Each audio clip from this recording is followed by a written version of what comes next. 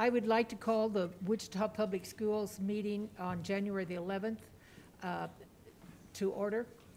The Wichita Public Schools will be the district of choice in our region where all students and staff are empowered to dream, believe, and achieve. Would you please join me in a moment of silence?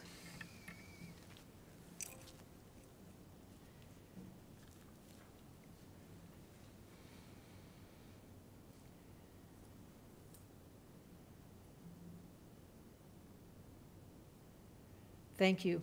Would you please rise for the Pledge of Allegiance?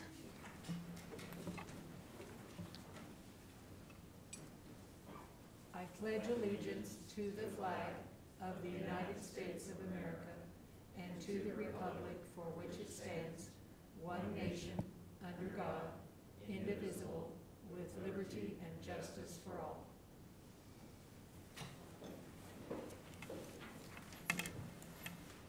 Thank you very much. Mike, statement about COVID uh, manifestation? My name is Mike Willamy, Clerk of the Board. This regular public meeting of the Wichita Public Schools is taking place at the North High Lecture Hall, 1437 Rochester in Wichita. Due to the governor's declaration of emergency and due to health and safety concerns that exist because of COVID-19, no members of the public are present at this meeting. This meeting is available to be viewed live by the public in the following ways.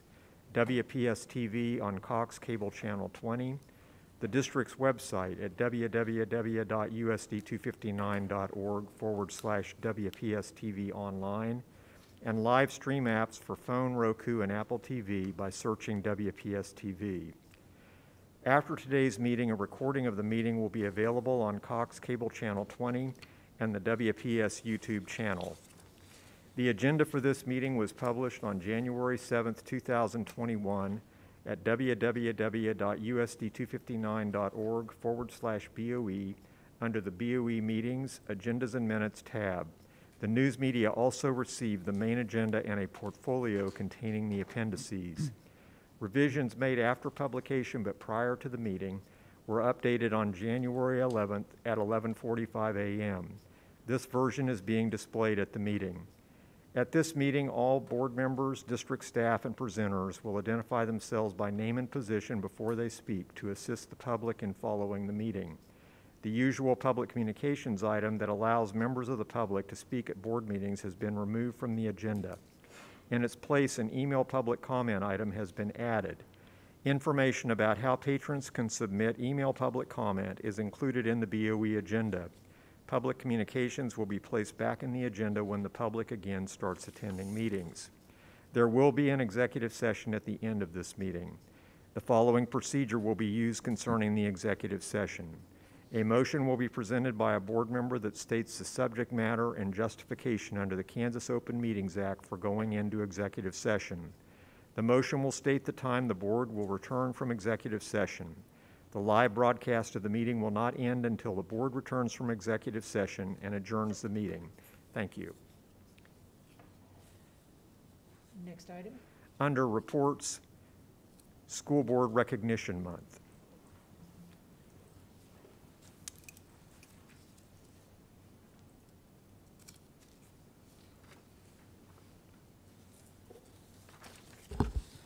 To President um, Sheril Logan, Vice President Julie Hedrick, um, and all of the other board members. Um, I am Alicia Thompson, and um, I just wanted to uh, uh, stand before you uh, to recognize that January is the Board of Education Appreciation Month in Kansas. And tonight allows us to honor you, each one of you that are here, and those of you who are online um, our seven elected Board of Education members for the extraordinary service that you give freely to our students, our staff, and our community at large.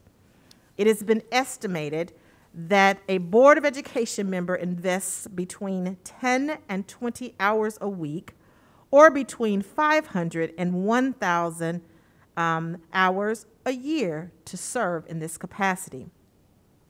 What our viewers may not know is that unlike your counterparts with the City of Wichita and Sedgwick County, Each of you serve with distinction and receive no compensation for your time. And I can only imagine in a year where you are making the decisions on behalf of nearly 50,000 students and 7,000 plus staff members during the most serious public health crisis in our century, that your commitment of time has even been greater.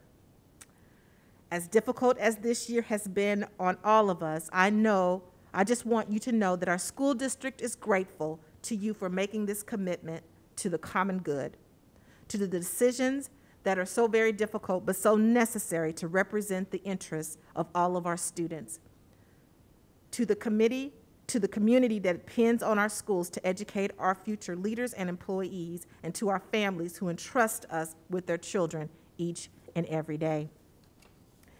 We would like to honor you this evening um, with, there are some pieces that are in front of you. And these pieces were produced as a collaboration between our milling department and our sign shop. There, I want you to take a look at those. Those are the most beautiful things I've ever seen. Uh, they uh, are made, of course, with love um, to you. And I know you all have wonderful places where you'll be able to find those and display those so you can remember this school year in particular. like we're gonna forget. you could just sit and reminisce. I I would also like to take the opportunity to share uh, the content of the proclamation. And if you look in front of you, you have, you actually have that in front of you. There is a proclamation from the governor, and I'd like to just kind of read a portion of it. Um, whereas, and there's lots of whereases, so uh, we'll try to get it together here with, with, with, with reading them. Whereas the mission of public schools is to meet the diverse educational needs of all children and prepare them for future success. And whereas the Kansas Constitution entrusts the locally elected school board with the maintenance, development, and operation of the state's public education system. And whereas local school board members are accountable to their local community for accomplishing the mission of the public education in Kansas. And whereas Kansas Public School Board members advocate for our communities, our children, and our public schools. And whereas the member of Kansas Public School Boards of Education are committed to providing an excellent education for every child in each community. And whereas local elected school board members devote countless hours to the governance of our public education system and success of Kansas children. Now, therefore, I, Laura Kelly, Governor of the state of Kansas, do hereby proclaim January 2021 as School Board Recognition Month in Kansas, and I urge all citizens to join in this observation. Board members, thank you for your service. If I would have my audience with me, if you would rise and let's give our Board of Education members a round of applause.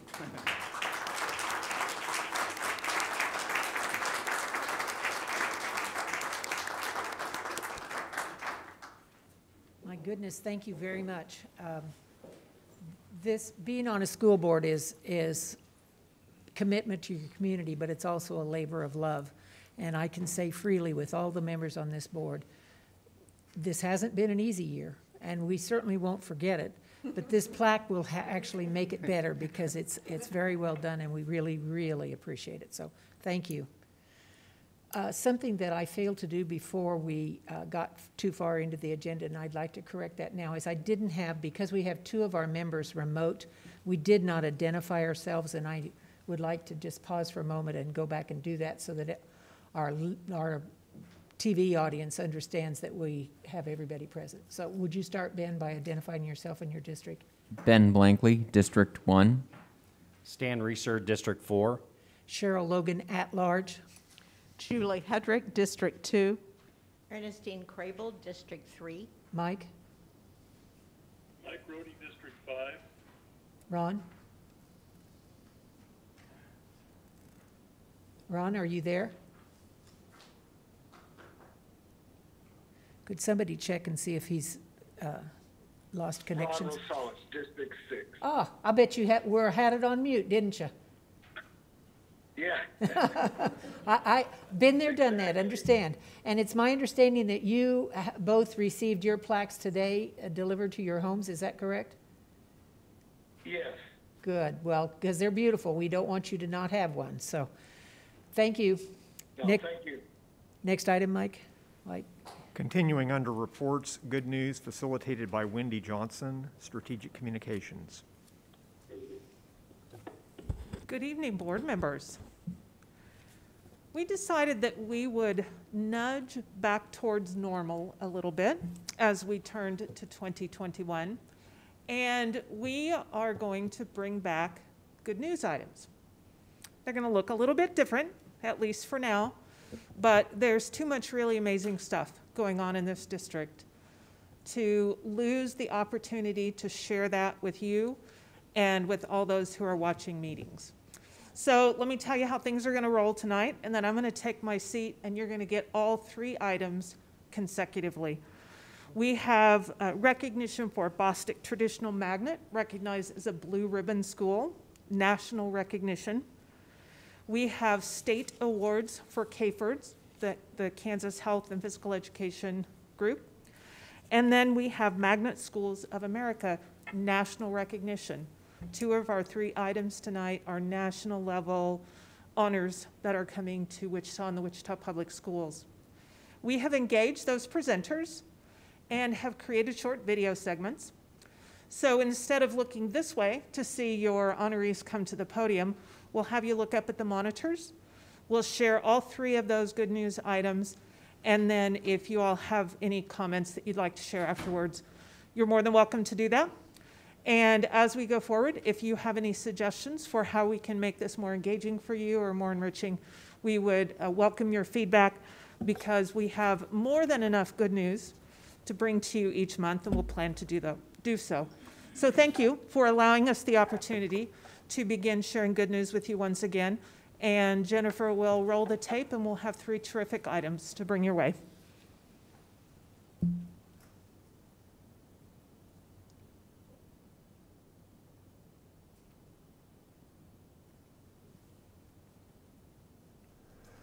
Good evening, Dr. Thompson and members of the Wichita Public School Board. I'm so thankful to be here tonight and share with you more good news from Bostic Traditional Magnet. In September, we were honored as a National Blue Ribbon School. This was such exciting news for us. Our students work so hard, and our teachers believe that data reveals the potential in every student and we use that data to fill in the gaps of students who need some extra help and provide enrichment opportunities for students who are ready for more rigorous content. In November, we worked on projects that helped us show everyone else how our guidelines for success helped us achieve this wonderful award. Thank you so much for the opportunity to share this good news with you.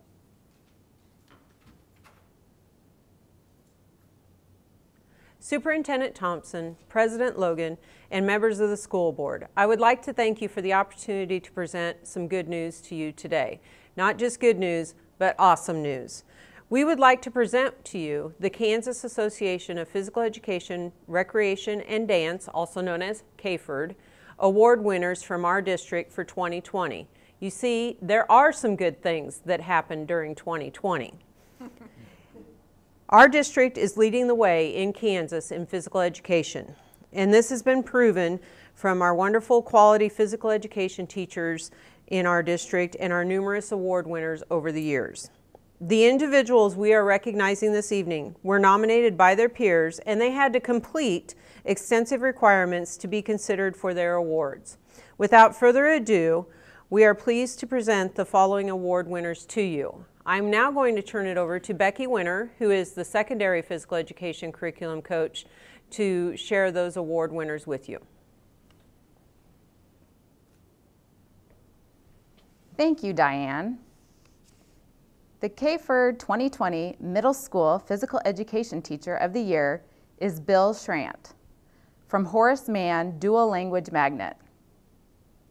The KAHPERD 2020 High School Physical Education Teacher of the Year is Emily Mayer from West High School. The KAHPERD 2020 Young Professional of the Year is Aaron Carney from South High. All three of these physical educators make genuine connections with their students and peers, develop learning environments that promote respect and value for their students, and collaborate with their colleagues to make our district curriculum better in a never-changing world. We are so proud of our very deserving teachers. Thank you for your time and allowing us to present to you just a few of the amazing teachers we have in our district. Good evening, Board of Education and Superintendent Thompson. My name is Jesse Millen. I'm here from the Magnet Department to help celebrate our award winners uh, that won School of Distinction from Magnet Schools of America. Magnet Schools of America is a national organization based in Washington, D.C. that support, supports magnet schools from coast to coast. This year we actually have four schools that won the School of Distinction Award. Jardine STEM and Career Explorations Academy won their third consecutive award for School Distinction. Allison Traditional Magnet won their second award. They won for the first time last year. McLean Science and Technology Magnet won their second award. Uh, it wasn't consecutive, they won a couple years ago. And Earhart Environmental Magnet uh, won for the first time uh, last year. We were supposed to share this news in April, but obviously circumstances prevented us from doing that. Um, but we wanted to have an opportunity to celebrate uh, our winners. It's a very prestigious award and it's not easy to get. So these schools have really gone above and beyond to demonstrate uh, their dedication to their magnet theme. Uh, in addition to Schools of Distinction, Magnet Schools of America also gives out award for Principal of the Year, and this one's really tough to get because while there can be different schools of distinction, the Principal of the Year is only given to one principal in that Magnet Schools of America region. We have 11 states in our region, including school districts in Chicago, Minneapolis, Indianapolis, and other large urban districts. But once again, Wichita Public Schools was awarded the Principal of the Year Award, and that went to Vanessa Martinez at Horace Mann. Uh, we've worked with Vanessa very closely over the years, and I know her also as a parent because my children went to Horace Mann, and uh, I'm very happy that, that she was able to receive this honor because I know it's very well deserved. This year, because of the pandemic, Magnet Schools of America are not holding their awards competition. So these schools get to be celebrated not only last year, but also this year. But uh, we're sure they're going to open it up next year, and we look forward to uh, see, seeing how many more awards we can win.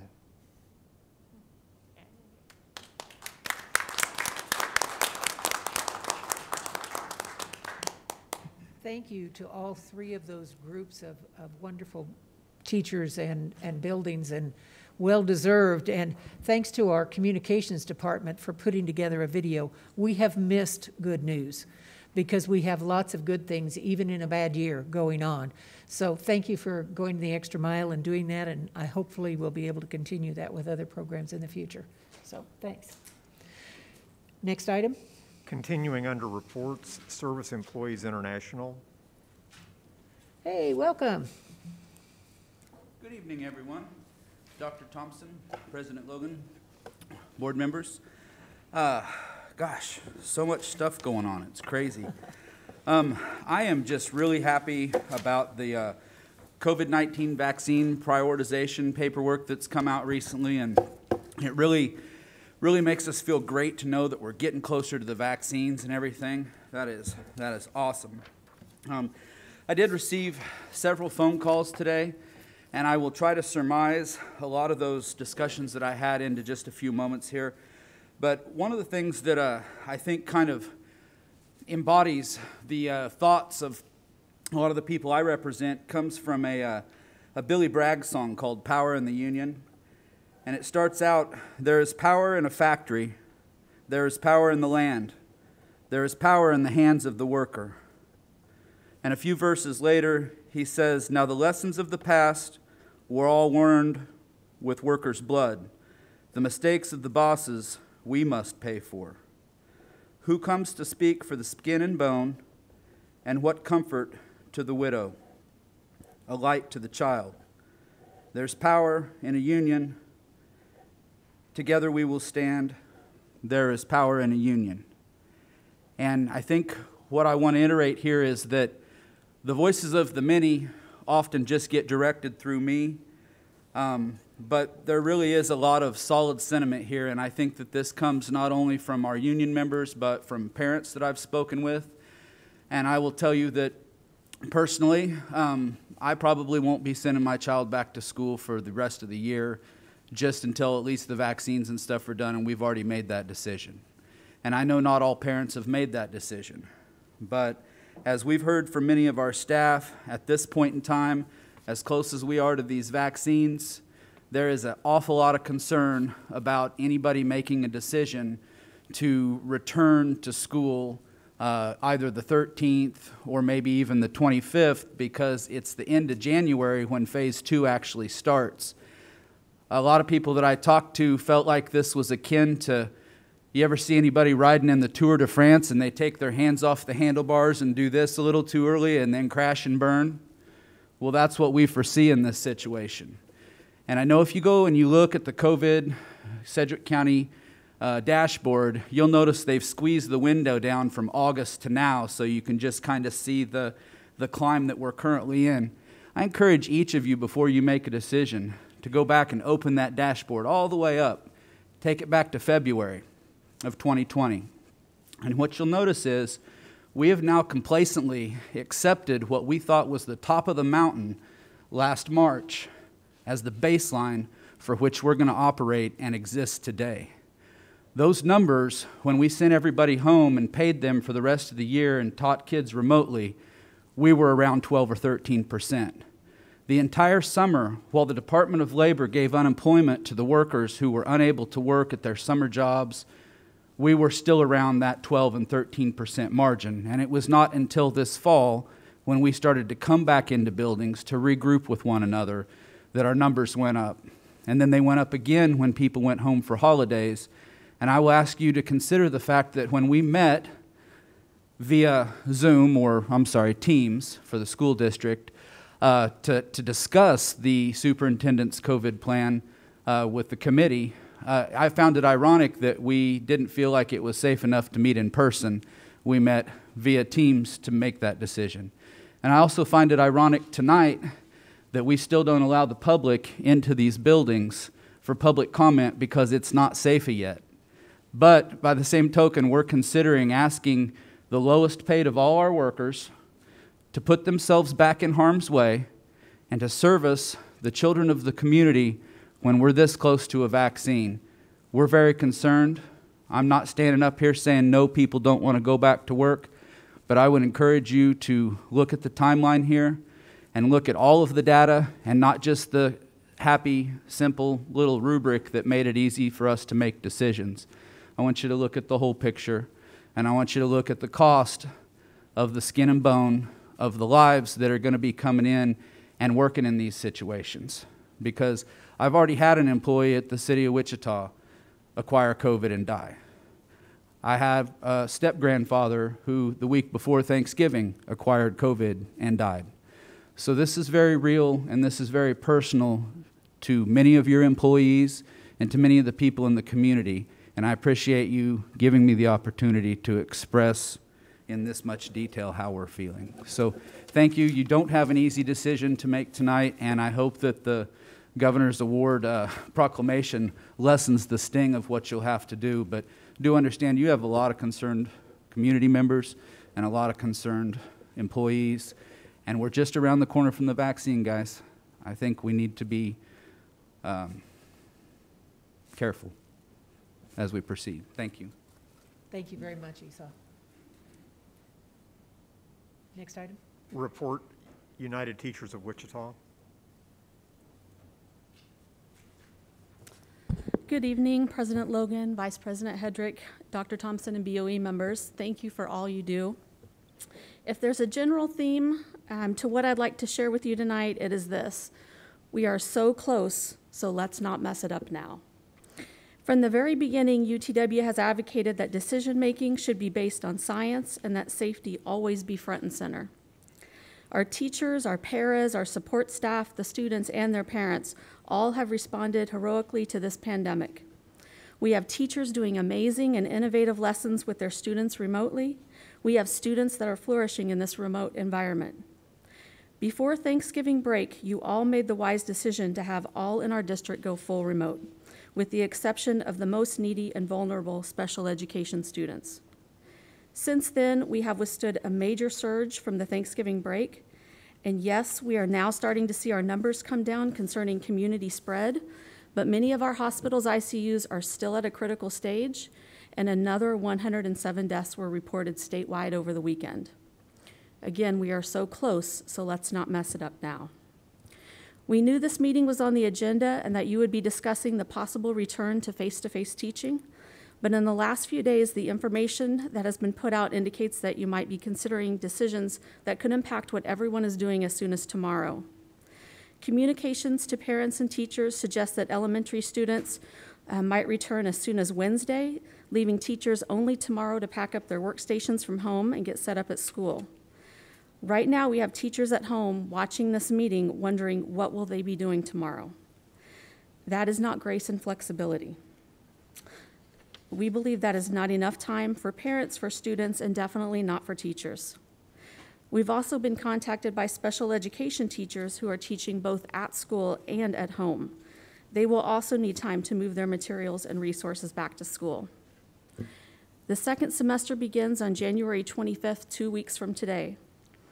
Please do not make any decisions that would bring teachers and students back before then. By then, we should know if there is a post holiday COVID surge, as the experts expect, and we need to see what the next few weeks bring. You could call a special meeting at that time to look at the most current data. So many of our elementary school personnel and special education teachers have lost leave time, been quarantined, sometimes more than once, and gotten sick, some very sick. And the move to go full remote has allowed many to recover and continue with their heroic efforts to teach their students. If you bring staff back to our school buildings, our quarantine numbers will also rise. We didn't have enough substitutes when it was only elementary in person. Add secondary, and the problem will be worse. Again, we are close, so let's not mess it up now. And what about the middle and high school teachers? In one email, teachers were told that all staff will return to their on site work locations on January 13th. Why? Dr. Minns has extended the current Sedgwick County Health Order to February 6th, and it includes the recommendation that employers allow employees to work remotely whenever possible. Why bring middle school and high school teachers back any sooner than necessary? Why bring back elementary my school remote teachers? We again state unequivocally that if a teacher can perform his or her job from home during this danger, dangerous pandemic, that should be allowed. Grace and flexibility is needed there. The vaccine will soon be available to school personnel, and in just a matter of weeks, so many more will be in a much safer position. So, my mes- message again is the same. We are so close. Let's not mess it up now. Thank you. Thank you very much, Kim. We appreciate hearing from both of our unions. Thank you. Next item. Under email public comment, we have received six emails from members of the public, and the board uh, received a PDF with those emails this morning, and the board president and superintendent received those this evening. The emails will be attached to the BOE minutes for this meeting.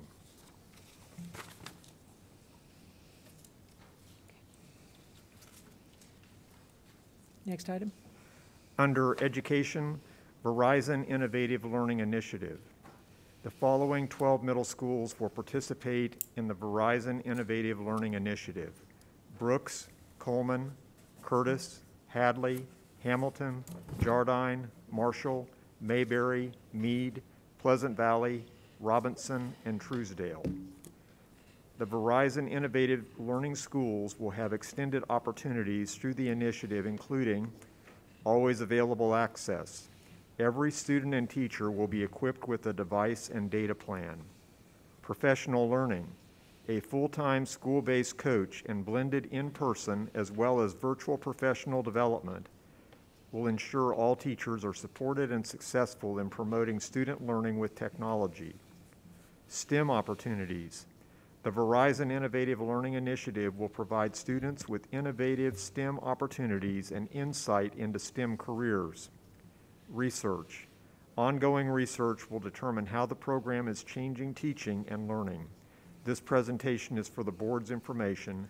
No action is required. Welcome, Rob. Uh, Good evening. We're glad to have you here. Dr. Thompson, do you want to say anything before he begins? Sure. Um, We're really excited about this opportunity. I am not going to steal the thunder, um, but we have, we were anxiously at our seats, uh, rocking and rocking when they said that the date was going to come, that we would know whether or not we received the grant. And when we were uh, awarded the grant, uh, we, we were in, you know, just a, a big applause uh, filled the, the, uh, the room when we found that out. So I'm going to let uh, my colleague take it from here and share exactly what this really means for our district. It is going to be transformational, and we're really excited about it. Thanks, Dr. Thompson. Uh, President Logan, Board of Education, uh, Rob Dixon, Chief Information Officer. I have as my partner in crime. Brandon Johnson, Executive Director, Secondary Schools. Um, I have this first slide up there because I think um, this couldn't be more timely for us. When you think about where we've been uh, one year ago today, education looked much different than it does today. We have digital equity and access. We're providing kids who need internet, internet, and we're, we also have the availability of devices to our uh, students. I think one of the things that's interesting as we start to look at coming back is what does that new normal look like?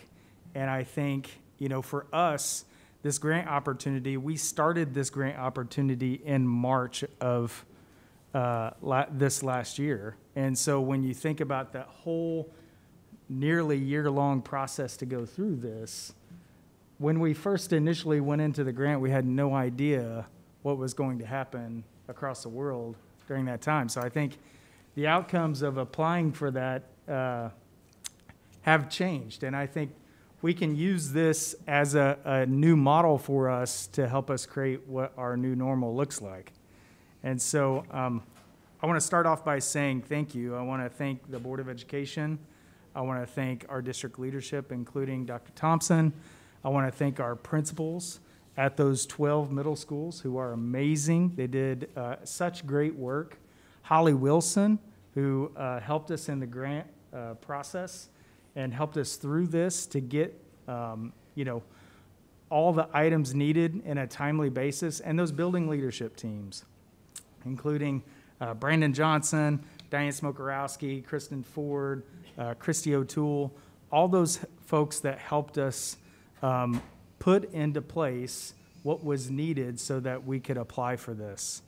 And so when you look at the benefits of this Verizon Innovative Learning Schools initiative, and you're going to hear me not say the word grant uh, based upon what Verizon has asked us to say. They, they, they want us to say initiative. Um, this helps us to really look at state of the art technology. Um, they work hand in hand with STEM focus partners, including Project Lead the Way and ST Math, to bring innovative lessons with um, digital learning within the classroom. So think about when students come back and they have access to technology. Um, today, those students have been fully remote. We've never really built that environment of what pedagogy looks like, what the delivering of content looks like in a blended learning environment. Um, also, building processes such as student uh, tech teams, in which uh, you'll see it in the fall whenever we begin to deploy devices to students that's not on day one of school. Those students uh, and student tech teams that are built at those schools, they build a culture and a climate of owning that digital environment that's created from start to finish. And so that first day, uh, you'll see a lot of digital literacy, digital citizenship being taught uh, with our, our partner Digital Promise, who helped write the National Tech Plan who uh, partners with Verizon in this initiative and is going to be driving professional development. Uh, you know, those student tech teams will have T-shirts that say Verizon Innovative Learning Schools uh, Tech Team. Uh, they'll be taught by a teacher and curriculum on how to support that school.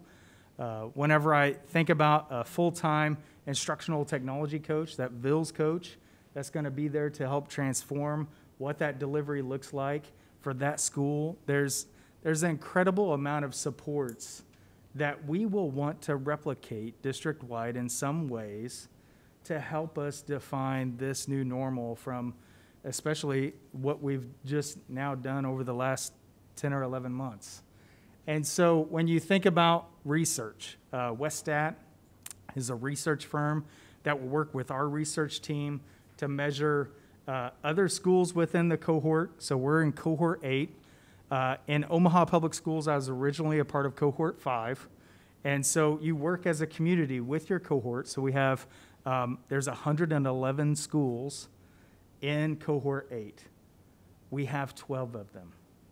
And so they'll work with Miami Dade, several other schools that are a part of cohort eight, lar- many of them in large districts, all Title I schools, to help uh, facilitate a community-wide and community engagement uh, within the VILS community, but also within the local community within Wichita.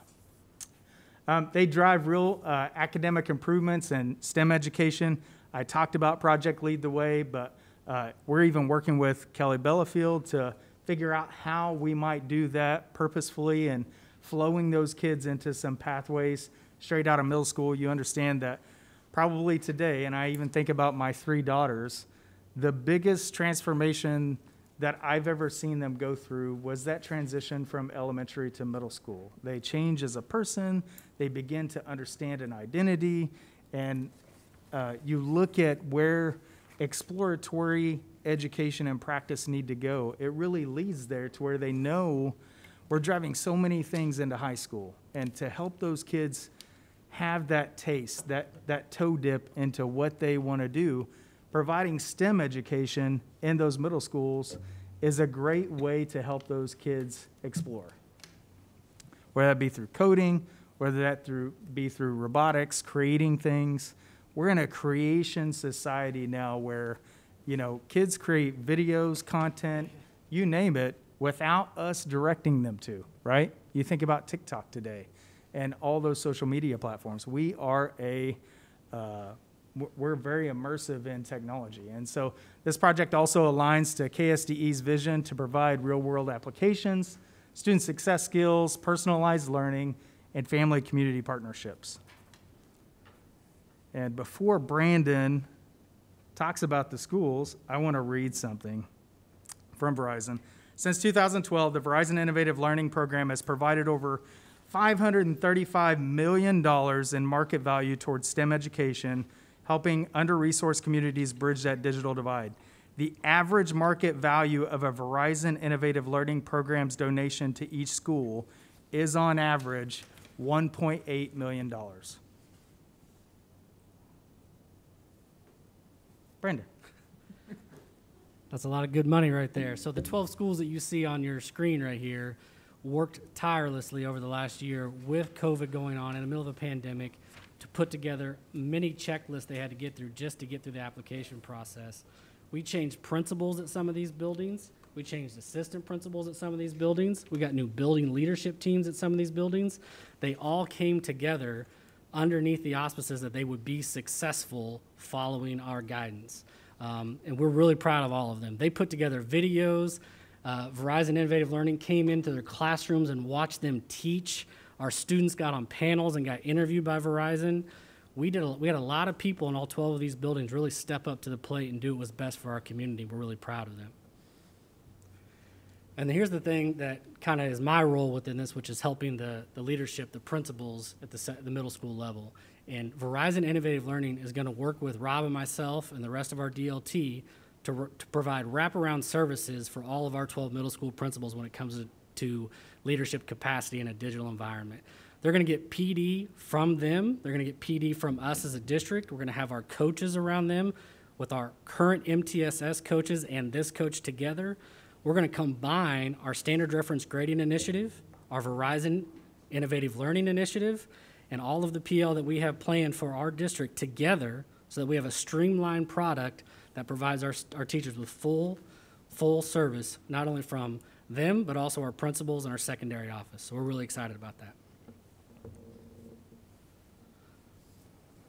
I think about digital equity and access. Um, you all have seen the importance of uh, leveling the playing field. And we've been able to do an, an immense amount of that uh, over the course of this year. Whenever you think about kids and access to technology and access to resources, access to the internet, um, whenever you think about uh, doing that uh, systemically with a program that's designed around it, I think you know we really we drove so much innovation because we had to, right? And I think this is a, a great opportunity for us as a district to take a look at our systems and how we operate, because I don't think we had enough time to do that. We were, you know, whenever you think about um, the way COVID hit and the way we had to advance, uh, looking at digital equity and access in a purposeful way around pro- programmatically uh, within the school, how it functions. Um, this, this will allow us to do this at the middle school level see those opportunities and replicate those both at the high school and elementary levels as well. Yeah, and then doubling down on the professional development, which is the next slide that we're going to talk about. This is probably the, the part that I get most excited about because when it comes to really great professional development, it has massive impacts on student outcomes. And if we can get that PD, not only with the Verizon Innovative support that they give us as a district and our coaches, but then also a full time coach that is dedicated to this work alone. We're not going to be pulling them to do other jobs. Their job is to help us implement these devices and the delivery of instruction in a different way so that we can become more effective and impact student growth. This will really give wraparound services for all levels student, teachers, principals, and the district level as well because we're going to get our own providing services. Kristen Ford's going to get support for IT. Uh, Diane Smokorowski is going to get support as the PD person, and I will get support as the principal person. So we're really excited about this and what it's going to bring for all of our students.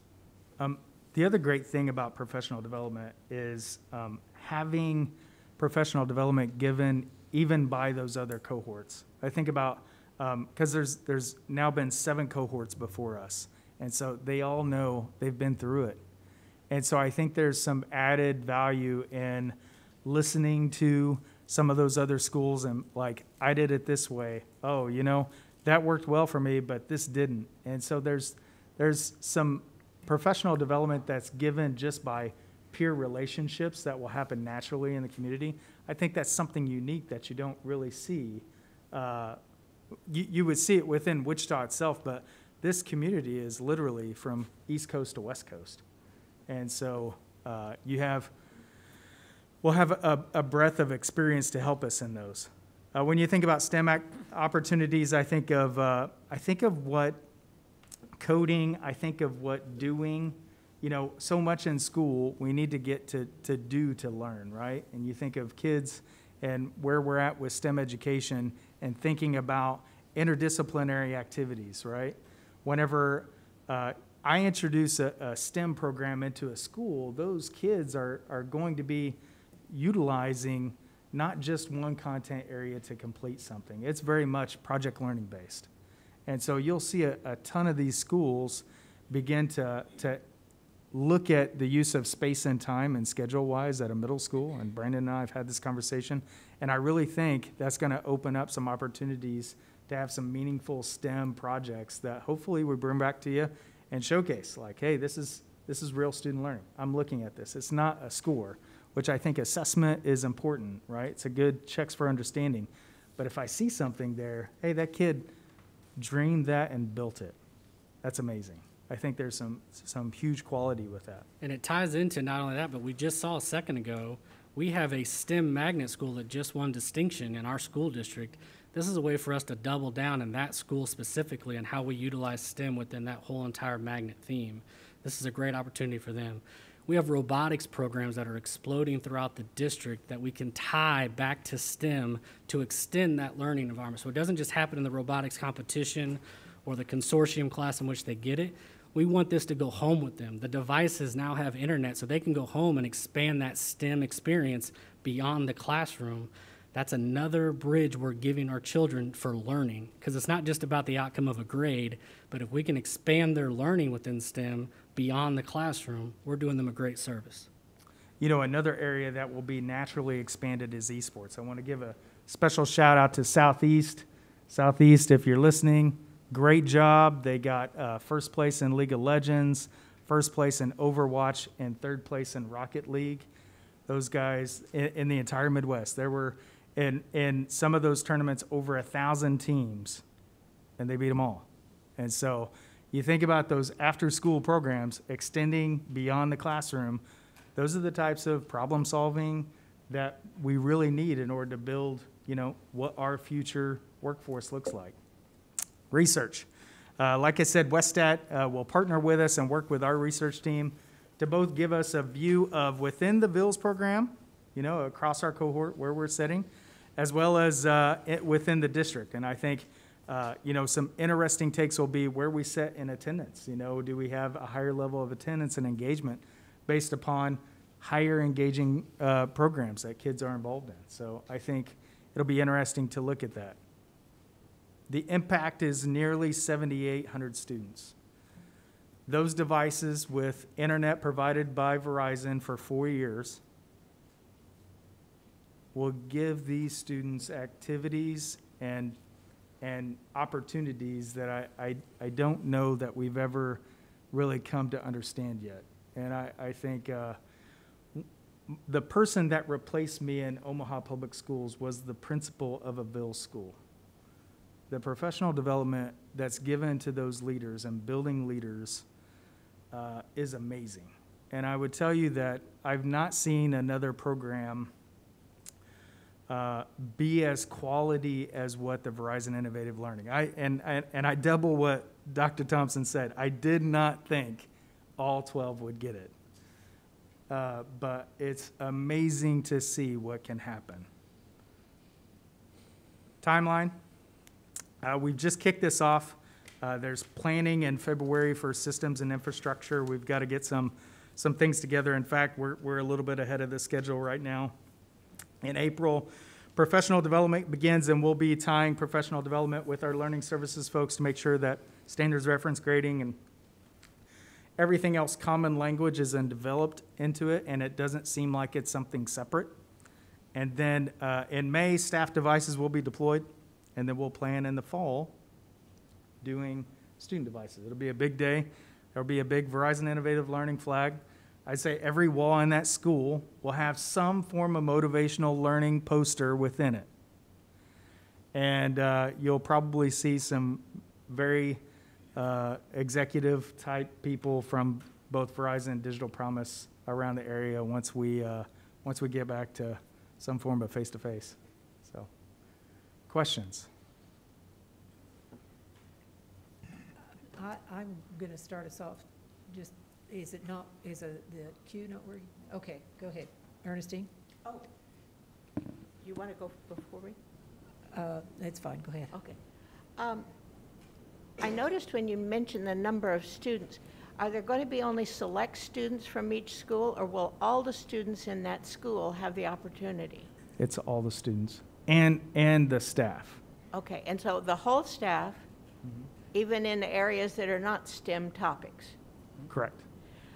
Would some of the non-STEM teachers be able to use the STEM ideas to create and have students create within their, like, language arts or social studies or something like that? They could make videos or, Absolutely. A- And, and I'd like to bring up something. That instructional technology coach, one of their jobs is to help uh, meld that kids' is learning experience across all of those content areas. So if I'm in arts or if I'm in music, you're going to see a lot more interdisciplinary activities, project-based learning activities between there. So it's not just limited to maybe some of those STEM areas that you would think about in traditional STEM. It's really bringing a mix of so a student could do a project Mhm. in, uh, let's say, social studies where they do it on a country and they include the music and they include the food and they make a video and, Yep, I don't know, absolutely. make a robot tap dance? Well, when you think about when you think about standard reference grading, which is where we're going to all the way K8, correct? When you get to a level four, which is mastery of a subject content area, that's actually where we want students to create their own type Right. of assessment. And that's what we're hoping to do is to mold these things together so that our standards reference grading expectations of mastery and the pedagogy in which we're going to be providing with this Verizon Innovative Learning come together so that we can use the resources together to have students actually show mastery. As that student builds their identity as a middle school student, you start to shift that learning to a student-centered approach. And when I do that, um, that, that student has managed choice within that class of like, you know, I, I might not have to read this one book, but I might get a choice of three or four books, or I might get a choice of what I get to create with that. And so having students own that is such an important task in middle school to have because as you are going down the path of equity, and I, I love that we have an equity presentation because I think this really lends itself to every kind of student owning their own learning in this environment. Uh, that it very much fuels what we're looking at from a state to what we look at in our strategic plan to what you know hopefully every school thinks about. Okay, thank you. Um, I just want to say thank you. Thank you to your team. Thank you to the buildings to be able to look forward and reach out and apply for this grant because I can see this making a tremendous difference at our middle schools in engaging students in a different kind of way, in helping our teachers to learn to teach across curriculums. The sky's the limit with this kind of a grant because the funding is there and that funding provides the support, not just dropping computers off in the building, but, but really teaching teachers and administrators how to do this correctly.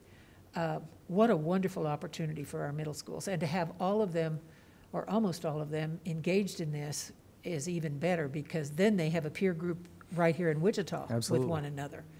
So I, I am tremendously proud of our district and what you are doing, all of you as a team, because this can change what happens at middle schools. And I am so thankful that we were able to get it. And I'm going to be watching it closely because I think great things. I, I, I wrote down here, it, we've got high expectations and we're looking as visionaries to the future because I think we're going to change what happens in middle school driven by because of the, the funding and the, and the support that comes with this grant. So thank you very much. Ben? Yes, Ben Blankley, District One. Um, so you mentioned um, that these 78, approximately 7,800 students would, uh, and and also the staff in the schools would receive these new devices Yep. um, f- uh, gratis from Verizon.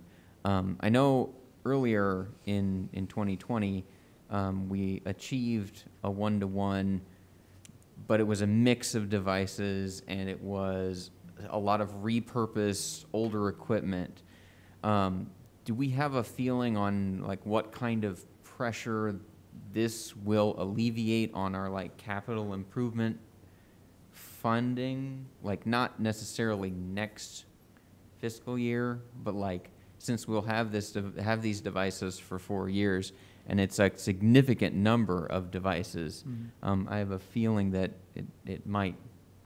I guess that's more of a general. Yeah.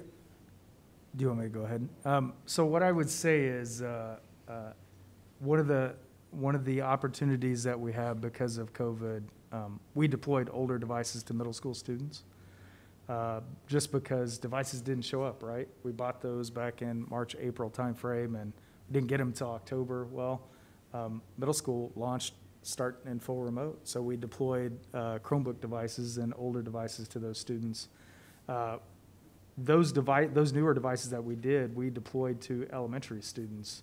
And so we have an opportunity to provide a better experience for elementary students uh, through those devices and deploy these devices to middle school students uh, at those 12 schools and supply the other three schools with their one-to-one as well with newer devices. It, it will alleviate some of the capital programs, but you know, I, I look to this initiative. Uh, there will be robotics that come out of this uh, program. I would say the exploratory practice in these programs will, will do far more than, than just saving us dollars. I, I think there's a, just a whole different experience that these kids are going to have. Thank you. Julie? Do you mind just putting the slide up again about, of the 12 schools, just so that we can celebrate with those 12 and Sure. um, know where to be looking in the future? Yeah, this is It's almost exciting. easier Thank to you. say the, the ones that didn't. Yeah, Yeah, and the I mean, ones it's outside of. Allison, Wilbur, Stuckey, and then our three K-8. So Allison, Okay. Wilbur, Stuckey, and our three K-8s are not in this cohort, uh, but all the rest of our middle schools did make it.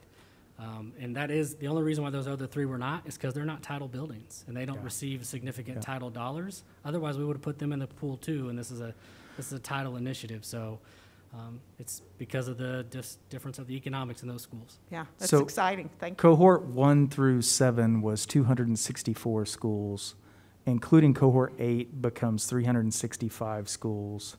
And so, uh, we have twelve of those three hundred and sixty-five. Okay. Well, thank you very much. It was great to have this presentation. I, we all look forward to seeing it begin to roll and move into next school year, so thank you. Fantastic. I think they should receive an applause. I can agree to that. This is exciting. You know, you didn't say it, Rob, but at 1.8 million, I figured that up, that's about 19 million dollars. That's a lot of money over four years. So, thanks to Verizon. Next item, Mike? Oh, you're busy.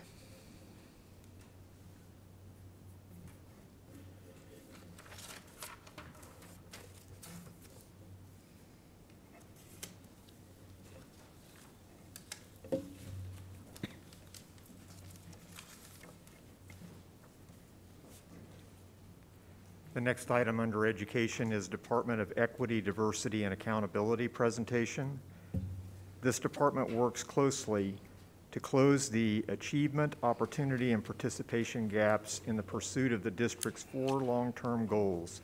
Tonight's presentation highlights the history, current initiatives, and future work of the department. This presentation is for the board's information. I have been looking forward to this presentation. Thank you very much for being here. So happy to be here. Dr. Thompson? Well, this has been a long time coming. We've been trying to get this one on the agenda for a while, um, but we've just had some issues with COVID every time it was, we wanted to do it, then that became the priority, and so we kept going back and back. So we said, no way, we dug our heels in this time and said, we're going to move forward with this. And I am so excited to have Mr. uh, Mr. Polite and uh, Mr. Reynolds here, and they have some, been doing some wonderful, amazing things in that equity and accountability office. And I just thought it was time for us to share some of those cool opportunities that are starting to happen for our children and be able to see some movement and some closing of some gaps or learning opportunities, I will say, not gaps, but learning opportunities that exist among subgroups and begin to get the ball rolling, and things are rolling. And so we just want to start out by just kind of giving you an introduction to some of the things that are happening, and then remembering to come back on a regular basis to continue to keep you all updated. So this is our first opportunity to explore this with you, and I will turn it over to my colleagues. Good evening, Board President Logan, Vice President Hedrick, Superintendent Dr. Thompson, and other board members. I'm Keith Reynolds. I'm the Director of Equity and Diversity Training, and our presentation tonight will to be provide you information on the Equity, Diversity, and Accountability uh, Office within USD 259. And greetings, uh, President Logan, Pre- uh, Vice President Hedrick, and Superintendent Dr. Thompson. I am William Polite, and I am the Director of the Equity, Diversity, and Accountability Department. And we'd just like to thank you for allowing us to be here tonight with such a busy agenda already. So thank you. Tonight, what we'll talk to you about is uh, the history of the Equity Department. It does go back to 2000 and 2001. We'll give you details on that. We're also, we'll share information about current employees and positions that we have. We're a growing entity and it is needed, as well as the nature of our work, past and present, the vision and mission that we have within that uh, office, which uh, mirrors what we have in USD 259, as well as initiatives that we have taken up in order to help our uh, most neediest students to be able to gain equity. and also future plans that we might have as well. There's a quote that uh, we stole from a equity and diversity expert by the name of Dr. Verna Myers. And that quote is diversity is being invited to the party, inclusion is being asked to dance, and equity is being asked to help plan the party. Uh, that quote is synonymous with how we uh, view our relationship with USD 259's leadership. We believe that we've been graciously invited, uh, the Equity Department, to this party. Uh, information and resources and consultation has been sought from us, your input, and that's in order to plan an equitable school and work environment, which we are very much vigilant at seeing take place. Our primary objective is that we want to make sure that we are useful, reliable uh, resource to leadership, to our community, to all of our students, all of our students that tend to have deficits in various areas of attendance, academics, behavior, various things, as well as assisting our staff and parents so that we draw closer to becoming one because that is our primary objective. When it comes to linking equity to the strategic plan, there are areas within the strategic plan that we hold dear within the equity department. Increasing graduation rate, we want to see that happen. Schools trusted as safe places, we believe that if our students are part of being in a belonging or inclusion, then that makes them feel safe in their school environment. We want to make sure that we have uh, significant work at closing the uh, disproportion, disproportionality gap. And that disproportionality gap gets into achievement gaps, opportunity gaps, as well as participation gaps. Our objective is that we want all of our students to dream, believe, and achieve, and uh, to have an equitable learning environment to be able to do that. We firmly believe that that can be done, and we are diligent in seeing that that happens in a short period of time as well.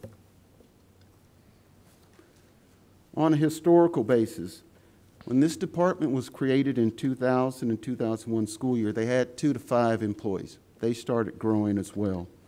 Their primary focus was on offering recommendations to the board. We had busing situations at that time. They were to focus on busing equity. They were to focus on diversity training as well as uh, magnet school selection. A lot of the work circled around uh, the department assisting board in at, an advising type of capacity, developing, monitoring, and implementing policies, working with busing students for desegregation, emphasizing parent and student choice, and attendance to neighborhood schools. There was a lot of focus at that time on promoting and maximizing student education achievement and equity in educational programs, offering resources and opportunities to all of our students. Our primary objective is that all of our students, regardless of those deficits, regardless of where they're from, their income, that we give them an opportunity and that equity reigns supreme. Mr. Polite. And moving into our current status as the Equity Department, um, we've really grown under the leadership of Dr. Thompson and Dr. Geeson and our former Deputy Superintendent Dr. Irving. We are now at uh, seven employees. And of course, our focus still is on closing achievement gaps, significant disproportionality in the disciplinary area, area uh, diversity training, the magnet curriculum and instruction, uh, family and community engagement, and just improving awareness overall of the student and inclusion and belonging. As many of you know, we're part of the Males of Color Pledge that we're going to talk about a little more here in detail. Um, currently, we're staffed by myself, the director uh, of the department, and then Keith uh, Reynolds, the director of training for equity and diversity. Um, Carla Clement, support for equity in the magnet offices. Uh, Phyllis White Cotner, uh, magnet and curriculum and instruction lead. Uh, you heard from Jesse Milne a little earlier with the Magnet School Science and Technology Facilitator, and Tamara Huff, who has now been moved over to our department from the, to look at equity uh, family engagement through an equity lens, and she's our family and community network specialist. And then our newest hire is Carmen Altenberg, who's our magnet program specialist.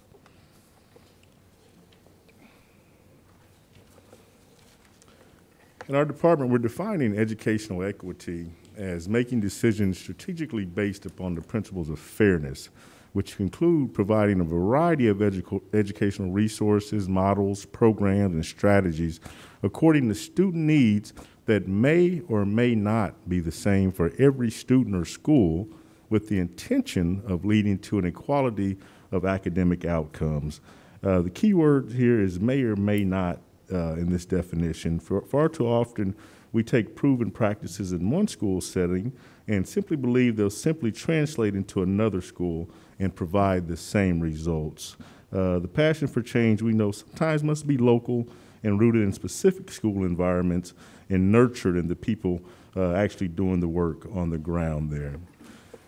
As we move into the vision that we've adopted for the department, and in collaboration with our strategic plan, is that Wichita Public Schools envisions a future in which student outcomes are not predicted by student social factors or challenges. WPS is committed to ensure equitable educational opportunities for all students by demonstrating an ongoing commitment to equity across the district by allocating resources equitably while providing diverse learning opportunities. Equitable allocation of resources is the key to this work as we grow the work across the district. Dr. John Marshall out of uh, Louisville uh, made a statement to me when I was at the Council of Great City Schools. He said, if you want to see the commitment to equity in your, um, in your uh, district, don't go to the equity department, you go to the budgeting department and see where the commitment lies. As we move into the mission for the equity department, says WPS will provide equitable access to a high standard of educational success for all students with the intention of closing achievement gaps, particularly for student groups with the greatest academic needs. We at WPS will establish high standards for all students while providing equitable opportunities, support, and resources needed so all students receive a high quality education during the time they're enrolled in Wichita Public Schools. I have to uh, stop right there just for a quick second and say my personal story as a proud product of Wichita Public Schools. I'm actually uh, in my high school as we speak. I'm a 1984 graduate of Wichita North High School and uh, come from a challenged background, single parent home, and many of the challenges that you see in many urban environments. Um, but as we talk, as we speak about all students receiving a high quality education. I can say here proudly that I received a quality education here in Wichita Public Schools. And our challenge here in the equity department is to ensure that all of our students are receiving that same high quality education that I received matriculating from K through 12 right here as a young man of color in Wichita Public Schools. And I am a proud, very proud graduate of our school district. Our roles and responsibilities, the Office of Equity, Diversity, and Accountability. We are currently designing and implementing strategies and programs to integrate diversity and equity into all aspects of the Wichita Public Schools mission and culture. We're committed to creating, building, and sustaining an environment that embraces and celebrates racial, ethnic, cultural, and social economic diversity. This is just a current snapshot of the roles and responsibilities of our office. And Mr. Reynolds is going to get into some of our priorities. As we progress through and, and assess things within the district, we developed priorities, things that we need to work on first and foremost. In creating an equity advisory council, we wanted to work with our community, our community partners, our parents, to get their perspective on what the needs are. When in creating an equity champions in every school, we wanted champions someone that could work with our building leaders and stakeholders when it comes to equity matters, when it comes to providing training, uh, and also to just to be able to take a pulse on, of what's going on out in our schools so that we would be able to know what areas that we were needed to assist in. In increasing equity training, we wanted to make sure that we catered to the specifics when it comes to cultural deficits in our schools. There's so many situations where unless we ask, we don't know. But there are various needs, and we want to make sure that we were able to harvest together those resources that were needed to help our students, our parents, and our staff and our building leaders to be successful. Increasing support, mentoring, and tutoring our students. We have students with academic and behavioral needs. Our mentors would be trained, and they would work with our building child study teams and others to make sure that our students received equitable and a good education, and that increased the chance that they would meet the strategic plan that we have spoken about that are pillars within this district. Eliminating disproportionate discipline of minority students as well as disabled students. In those cases, we want to make sure that we consulted with and teamed up with building leaders to eliminate disproportionate discipline of all students. There are certain things that we offer training and consultation to help us to understand what is the crux of those deficits because we want our students in the classroom learning instead of being expelled and not in school, particularly if it's not for reasons that are beneficial to the well-being of that student. So we are, will, we are wanting to work with the schools to work on those issues. Increasing inclusiveness and belonging to every student. And we wanted to make sure that we were able to help our kids to feel like they belonged in those schools. It's interesting, we will state, that's my Dillon's. It would be awesome if our students, if our parents could say, that's my school, that's my district, and I'm proud of that. And that is something that we see as a very important uh, goal to achieve. Increasing awareness and confronting unconscious bias. We have primary goals with awareness, knowledge, and developing skill sets. If we have deficits, that doesn't make us bad people. Those are things that we need to confront, particularly if they become obstacles in stopping our students from achieving and being all they can be. Those things are done without having an adversarial type of approach. It's more of a working as a team, working as one to achieve those objectives. And finally, challenging stereotypes and producing a bias-free work environment. Our thoughts were to do that through assessing the environments in our schools, consulting with various individuals and stakeholders in our schools, offering training, partnering with our community as well as our stakeholders to create an action plan to help us all to win when all is said and done and in the end. Additional priorities we had were to improve recruitment and retention of our African American male teachers K through 5. We are working with our human resource department, willing to go out to our uh, HB uh, historically black colleges and other colleges. We want to be inclusive. Anything, everything about our department, sometimes people will mistake it for being exclusive, but we want to be very much inclusive. But we also don't want to overlook those primary deficits that are apparent and obvious. We want to work more closely with our restorative practice groups, culturally responsive teaching groups, social and emotional learning groups and resources in USD 259, as well as those trauma-informed services, because we want to make sure that we help our teachers to connect with our students. When it comes to ensuring digital and educational equity and opportunities, Rob Dixon said it best. We want to make sure that our kids have access to techno technology, regardless of the deficits and the things that they deal with outside of the school area. Ongoing inclusiveness, belonging, and equity assessments of stakeholders, that allows us to take a pulse on what's going on in our schools, allows us to find out what the needs are and be able to work with our schools and those within the schools and the community to be able to fulfill those needs. And finally, to increase the number of African American males in advanced educational programs. There is a deficit there. We believe that we can work with our students in order to have a higher number presented in our advanced educational programs. And the reason that we focus on that is not because of race, it's because we want to make sure that opportunities are available for all of those, particularly those that may have been overlooked that should be in those classrooms. Mr. Polite. And this is our work, our ALT, our Academic Learning Team Work Group, which was newly formed uh, this year as part of the ALT process.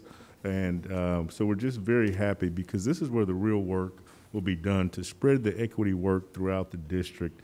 This is our number one goal this year was our wildly important goal or WIG for the department was to decrease the suspension of our African American students by 10% annu annually from presently at 37% down to 17% by 2023. Um, the equity work group, as I mentioned, is the newest work group in the ALT department, and we currently have 29 members in the work group that includes representation from all levels. Um, we held our first meeting December 21st, and then our second meeting actually this morning. And so, uh, very excited about our team members and the expertise and experience that we have as a part of the equity work group, uh, ALT work group. These are the three task force. All the work groups have task force, and these are the first three, I should say, task force that we have put together. Um, the first one being the training uh, for the Equity Learning Academy, which we're going to talk a little bit more about more. And then the Males of Color Pledge, which some of you are familiar with. We'll talk a little bit more about that. And um, the Family Engagement Task Force as well. This first task force, as mentioned, is the Equity Learning Academy, which, of course, Mr. Reynolds there will be a major part of leading there, along with some of our other champions within the district as well. Um, but this task force will establish what we call an Equity Learning Academy, which will have an equity champion from each school. And then the equity champion will assist the principal or AP in establishing an equity committee for the school. And Keith is going to talk a little bit more about the actual trainings that we currently offer and will be offering in the future. The trainings that you have, that you, uh, that are up on the slide, they're just a few of quite a, bit- quite a many. Uh, These are menus of trainings that are in place at this time and that have been there for a while. And um, we, that will be used not only to train our leadership, which we've done quite often. Matter of fact, we did quite a bit of training for our uh, leadership last week, and we're doing it this week as well. But also to staff, to community, and to our students. We have primary objectives with our training. We want to make sure that people are as culturally aware as possible without feeling bad. There is, it is possible to train people in cultural proficiency without them leaving there feeling bad about who they are. And, and that is huge with us to make sure we accomplish that. We want to make sure that knowledge is gained. If you leave there knowing something that you didn't know before, then we've been successful. And also to provide a skill set not only to our leaders but our staff and students. We want them to be culturally proficient, and we believe that that could be done in an environment to where people don't leave feeling offended. And so that is our primary approach when it comes to training. And our next task force is uh, the Males of Color Pledge and our SIG DIS task force as we look at the significant disproportionality. As most of you know, we are a member of the Council of Great City Schools, which is approximately 70 of the largest urban school districts uh, in the United States. And we, uh, they came up with the male, they established the Males of Color Pledge in 2013 um, as a response to the national data surrounding males of color uh, and uh, African American and Hispanic males specifically. Uh, you have a copy of the pledge uh, with you, as well as the key performance indicators that are utilized to measure the uh, progress or lack thereof. You should have a handout there. But these are a few of just the highlights of the Males of Color pledge that we will adapt and adopt and implement elementary and middle school efforts to increase the pipeline of males of color who are succeeding academically and socially in our urban schools and who are on track to succeed in high school reducing absenteeism, reducing the disproportionate suspensions, and developing initiatives and regular report on progress and increasing the number of males of color and other students participating in advanced placement and honors courses and gifted and talented programs, as Keith has already mentioned there on an earlier slide.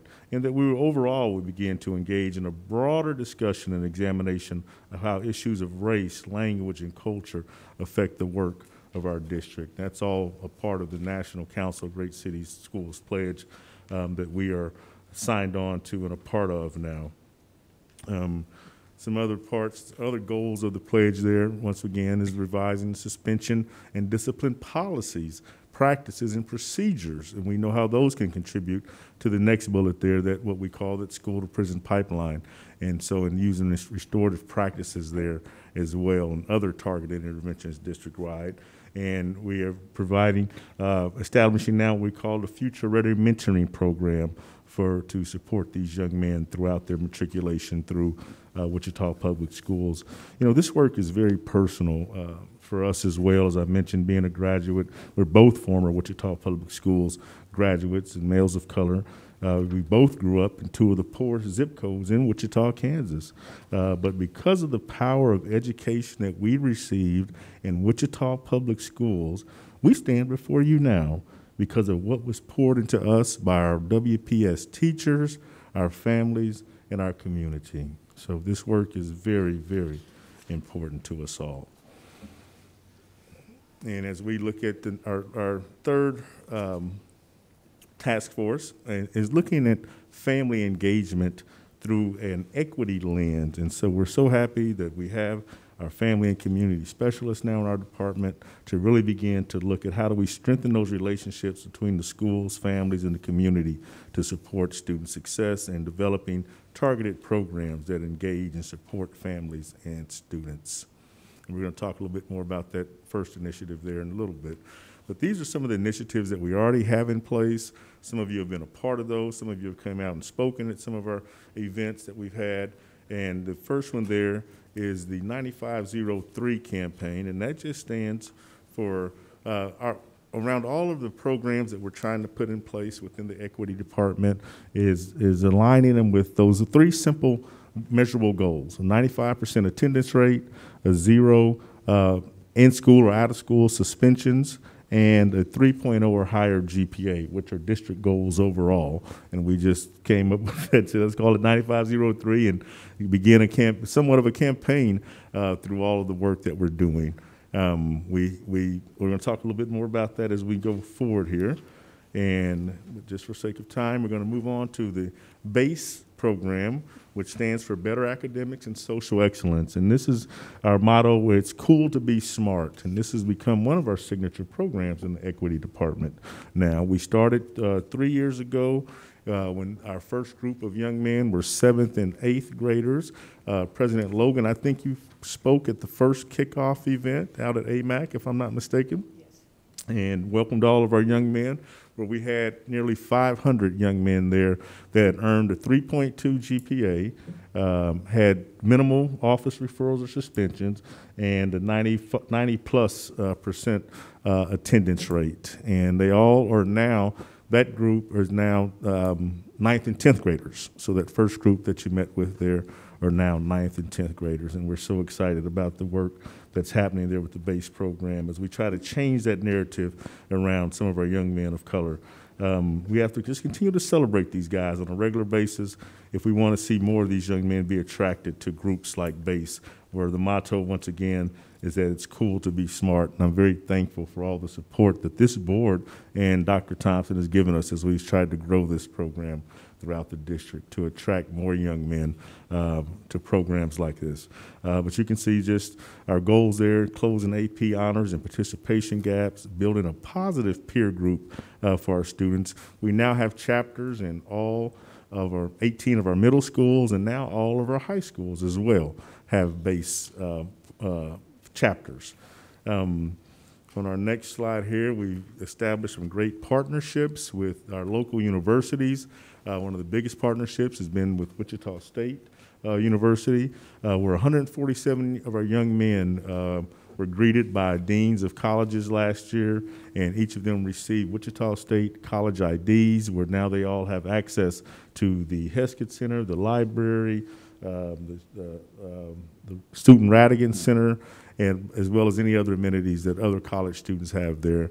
We had a very successful kickoff uh, this fall as we, some of our kids participated in the base learning lounge there as part of our My School remote learning. We had about 34 young men who spent the first nine weeks on campus uh, this year being college students. Friends has hosted us in a number of events, including our first end of the year, um, our first end of the year uh, celebration in our first year of existence. So those partnerships are really growing there. And uh, this is one of our, our signature programs as well, the Middle School Junior League Football Challenge, with the goal just being uh, to, to increase the college scholarship opportunities for our junior league football players in the Wichita Public School District by creating systems, structures, and spaces that will guarantee success for this subgroup of student athletes. And they also meet regularly at their schools in groups like you see there on the screen with different speakers and uh, community members and their, and their um, principals and, and others to encourage them not to just play football, but to uh, try to achieve that 9503 initiative. And on our next slide there, the Books Over Balls program is a program we started two years ago uh, where we meet at Chester Lewis with these young men that are now in high school and helping them to uh, continue to be successful student athletes. And we have a number of them now who are now in college and, and some currently being recruited by colleges as well. Uh, that group meets at Chester Lewis Center every Monday and Wednesday at 5:30. Um, the next program here is our Engaging Congregations program, where we had 50 of our pastors and youth pastors joined us uh, last spring, right before the pandemic hit, to really discuss how the engaging, how, how our African American congregations could become more engaged in the work of the district and helping us to reach that 9503 in their own specific congregations. Uh, the next one there is a Bulldog Summer Bridge program, which many of you are familiar with. We, we had for two years. We couldn't do it this past summer, where we had over 100 students participated and the average participation rate of 63 students a day with a focus on algebra skills. And we met for five weeks right before the school year started, two days per week, partnering with Tabernacle Bible Church and the Wichita Bulldogs. And it was very successful um, event there. You can see our esteemed Dr. Thompson back there participating in teaching class on the picture there uh, as well. And then Prime Fit Mentoring is a program that you all have helped to support to bring into the schools that are now mentoring our young men at six of our elementary schools, Buckner, Clark, Gordon Parks, L'Ouverture, Mueller, and Spaght, um, with approximately 120, 120 students served in the mentoring program, uh, approximately 20 hours a week in each school. And that's just another slide, as we've already talked quite a bit about family engagement. And I will go on there to our next slide, which is uh, just other initiatives that are in the district. But what we want to highlight there is the fact that we now have a web page for the Equity Department. And please take a moment to go on to the web page, which is listed in our departments there. Um, Keith and, and Jesse have been doing a great job of building that web page. Keith, you want to say anything about that? Yeah, the, the, one of the things that we find that's very good about that web page is it has lesson plans for our teachers and things for our students if they want to delve into things on a cultural basis. I mean, so it's their choice, but there's a plethora of things available for them to get into and learning experiences that they can expand their horizons if they so choose to. And so we want to put out quite a bit of a buffet of, educational opportunities for them if they wanted to expand their, their minds and to learn new things that are outside of their usual arena or scope of, of focus or learning. And so in this case, we encourage them to go out, peruse through, and look into things, hopefully learn something and share that. But we're going to expand and work more with our schools and our, uh, particularly through our equity work group, to find out what more we can do in order to have a lot of things more accessible to our, our stakeholders. We're having videos that are available for training that are 15 minutes or less that cut out the fat and get right to the point of unconscious bias and various other things. And so all of that, that website holds all of those things and it is readily available for anyone that teachers, community, students, there's Mhm. something for all of them if they want to look into it and see if there's something that piques their interest. And for sake of time, we won't go into all the other initiatives there, but those are just some of the other ones that, that are listed, and feel free to contact us with any questions and, and or questions that you some might have. Okay, Ernestine? beautiful. This is a little overwhelming. It's so expansive and so wonderful. Um, I assume that the seven of you can't do all of this by yourselves. That's a great question. Um, Could you talk about how volunteers are involved, how paid staff, how, how you might hire people to be involved? Who, who do you encourage then that does all of this? Because this is just amazing, but I know you can't do all of it. Well, thank you, and you're very correct. But we, we have had great community support in a number of our programs that we've been putting together. Uh, but like as I mentioned, Dr. Thompson and Dr. Geeson have been really supporting the growth of the of the department as well. Um, we're going to be looking to look at some future staffing as far as the mentors that we talked about in the Future Ready Advocate program. Uh, but some of the real work that's beginning to take place is the equity work group that we talked about and those different task force, which will also have focus groups to really spread the work, I'm sorry, to really spread the work uh, within the district and grow the work within the district. It is, it is a big task when you start talking about syst- systematic change in, in, in the world of equity. But uh, I think together, all of us, we can do it though. Yes. Well, programs like BASE and things like that, now, are those people that work with those children, are they volunteers? Are they uh, No, paid? each- Or are they you? It used to just be me, but no, not anymore. Uh, we have what we call site coordinators at every school that receive a small stipend to meet with the boys biweekly to uh, schedule speakers and different events and field trips. So no, we do have a site coordinator at every school and now at every at every high school as well that's worked with the boys individually. I mean, at, at their respective schools, I should say. There's also, uh, we're, we're expanding our, our horizon into the community. Working with the police department, they've wanted to come in and, and officers want to work with our kids. Cargill has offered to come in and work with our kids. Wichita Art Museum employees have offered to come in and work with our kids. And so we're collaborating with them as well as trying to organize ways to make that possible. So you'd be surprised at how many entities in the community show interest. And we try to talk to them on a, on a frequent basis to see what resources they have and they're willing to share, but to also partner with them. If they have that heartfelt uh, drive to want to work with our kids, we're not going to be an obstacle to having them to achieve that objective. And I must mention, Ernestine, the Real Men, Real Heroes, who's been working very closely with us, uh, different sororities and fraternities uh, throughout the city as well, volunteering countless hours in coming in and working with our young men and women at, at a number of our schools. And- And that's, don't, for- let's not forget our churches. That's right. They have yes. been very instrumental. Yes, without a doubt. That's the engaging congregations. Thank you, Dr. Thompson. They, our, our church, our faith-based community is really becoming engaged in the work as well. Like I said, we had a great kickoff, two kickoff sessions right before the pandemic hit.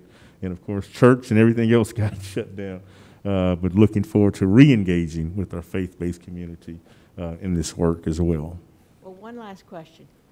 If there's somebody out there, particularly say a man of color, that says, oh, that sounds exciting, I would love to be involved, can they call you? Yes, please. Okay. Please, yes. So like Ernestine. for t- tutoring and mentoring that we're talking about on these programs? Yes. You are open to people calling you up and volunteering to be a part of this program? Yes, completely open. Teamwork makes the dream work.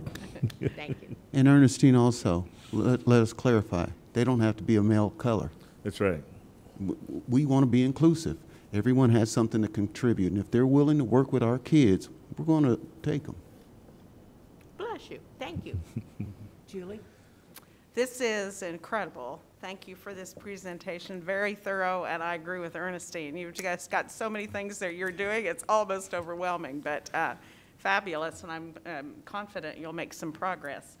Um, On my page six, I think it's probably your slide 12, um, I want to ask Mr. Reynolds a specific question. Um, Mr. Reynolds, you and I worked years ago on this, uh, the task of um, improving diversity in our hiring. And I know several of the board members here have been very interested in this uh, bullet point of improving recruitment and retention of African-American male teachers. And you have specifically here K through five, but, uh, you know, I think that also can include all grade levels. Do you have any data available, or do you even just kind of know off the top of your head? Have we made progress in that area? I know we found it, you know, five years ago, we, we had it as a great goal, and it was very important to us, but it was, it was difficult to achieve um, because we didn't find those that were interested in the position. So um, could you just let me know how that's, is that going any better? Um, The, re- the recruitment part, it, recruitment and retention is hand in hand. It's one thing to, to grab a great candidate, and there are great candidates out there. And we're going through programs like Grow Your Own Teacher and various other things at HR is doing an excellent job. Those statistics, I'd have to work with HR to get those statistics. But we're doing a great job of, of getting the attention of that population. The key is the retention. And so the emphasis is there as well. But we are working with HR right now, and I'll be glad to get, talk with them to get you the statistics. But we're working with them right now and making plans on recruiting trips and various other things. And part of that equity work group will also assist us with ways and avenues in order to help us with recruitment and, and retention because they are a, an, an, an advisory type of entity and we've got a great group of people that are within that work group. But I'll be glad to get you those statistics. But retention is the key. It, it almost defeats the purpose, almost to grab these great candidates and we lose them quickly. But I'll be glad to give you that information, Jill. And I'm going to also stay on this recruitment piece because we actually are starting our recruitment in the high schools. And mm. eventually, we're moving down to the middle schools. I understand there's some work happening there. So what we're trying to do there is to attract those students into teaching as we speak.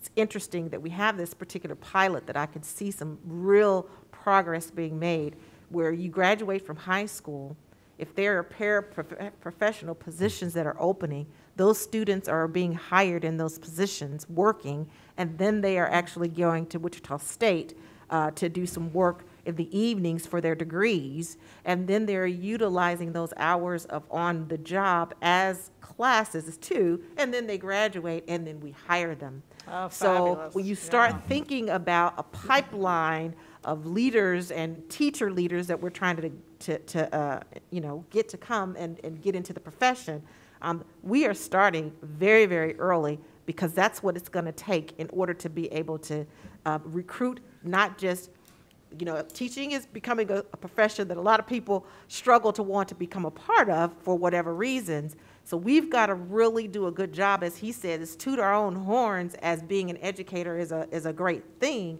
But then on the other hand, we need to make sure that they get uh, the attention and get it early in their minds that this is a cool profession and get them experiences and those kinds of things. And that's what we're hoping to be able to do also. And you can recruit minorities uh, of people, people of color. We really want some males, is what we're looking for. Uh, so we're really hunting to see if we can find some uh, men. I don't care what color, like you said, we don't really care. We're inclusive. Anybody of a male uh, descent that wants to become a teacher, we want to encourage that and foster that and water it and then have them stay with us as we move forward. So that's really the long-term plan, and we've already started some of that work, and we'll continue. Ah, that's fantastic. Thank you very much. And Dr. Thompson, can I just add to that just a, a quick snippet that we are working directly with Wichita State, right. And they are developing a program called Males of Color Future Educators, and so we've been working directly with them to begin that pipeline work that Dr. Thompson is talking about and to, to begin to attract these young men into our Educators Rising program as we speak. So you're going to hear a lot more about that with Dr. Ashley Jack and Dr. Kim McDowell up at Wichita State. That's and excellent. Thank not just young presentation. young men, but young ladies as well. we want to make sure that we are not exclusive. But even with the base program, those are you're talking about a large pool of young men that have good grade point average, no behavioral issues, great attendance. That pool we also have tapped into to try to push them into the educational area. And with Wichita State and Friends also dying to have that population within their educational departments or in their educational degree areas. Our partnership with them is, is growing stronger, and that is becoming a fruitful pipeline. Okay, ben? Yes, Ben Blankley, District One. Um, thank you, gentlemen, for being here. This is uh, this is exciting. Um, you know, as Dr. Thompson, said, a long time coming. Um, this is, I think, one of the one of the presentations that I had asked for. Um, so I'm really excited to, to see it. Um, right? Yeah. Um, so, because uh, like, so anecdotally, I think I can't remember where I read it, but um, I read once that it said that nationwide, our urban schools are sometimes more segregated now than they were right before Brown versus Board of Education. Um, and then, of course, now we have this um, other socioeconomic piece of problems with equity um, that we have to work to uh, work to close. Um, and so I'm I'm excited. Uh, it's important, very hard work, um, and and like you said, it's not it's not siloed. There's there's pieces of it in, in all the work that, that our district does. Um, and so I, I think this is great. Um, I think we're probably going to see a multiplier effect um, on the on, on the the general student population achievement um, as certain segments grow. I think all our students are gonna are gonna see that. So thank you. That is the goal. Thank you, sir. Okay, thank you very much. We really appreciate your presentation tonight, gentlemen, and, and it's wonderful to see this being developed in depth, which is what you've done. So thank you so much. Thank you. Next item, Mike. Consent? Um, m- Let's start with Mike Rodee. Do you have anything to pull from consent? Thank you. No, I don't. Uh, Ron, do you have anything to pull from consent?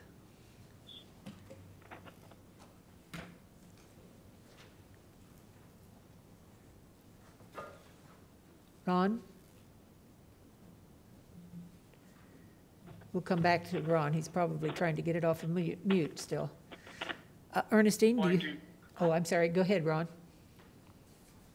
Yeah, I'm, I'm having some technical difficulties. No, I do not have anything to pull. Okay, thank you very much. Ernestine? Yep. Ernestine, I did not have anything to pull. Julie? Yes, uh, Julie Hedrick, District Two, I would like to pull A2. A2, okay. Uh, I have nothing to pull. Stan? Stan Reeser District Four, no consent items to pull. Ben? Um, ben Blankley, District One, no consent items to pull. Okay. Uh, Do I have a motion to accept the rest of the consent agenda except for A2? Ben I Blank, that we accept the consent agenda except for A2. Ben Blankley, District One, I second.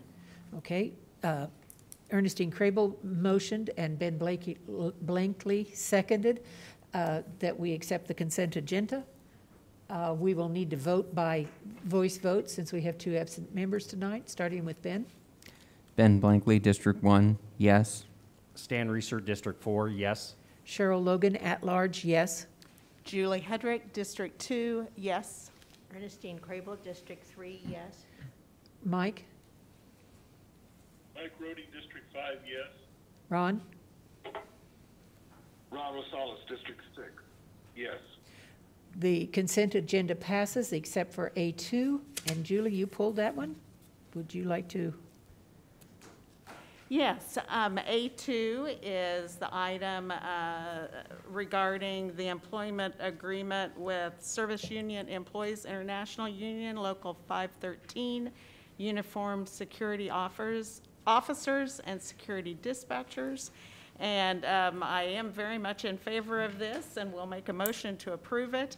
I just wanted to, to highlight it and thank those um, security officers and security dispatchers that uh, worked with this. And I'm pleased that now with uh, this agreement being approved tonight, we'll have taken care of all of our employee groups and uh, we'll have uh, contracts signed and can move forward with um, getting uh, the proper pay to folks and, uh, and moving forward with all of our employees taken care of. So um, thank you to those involved, and I would like to um, make a motion to approve um, consent item A2. I second it. Okay, the motion was made by Julie Hedrick and seconded by Ernestine Krehbiel. Would you please cast your vote, starting with Ernestine? Yes. Ernestine Krehbiel, yes. Julie Hedrick, District 2, yes. Sheril Logan, at-large, yes. Stan Reeser District Four, yes. Ben Blankley, District One, yes. Mike? Mike Rodee, District Five, yes. Ron? Ron Rosales, District Six, yes. Okay, uh, motion passes seven zero. Next item?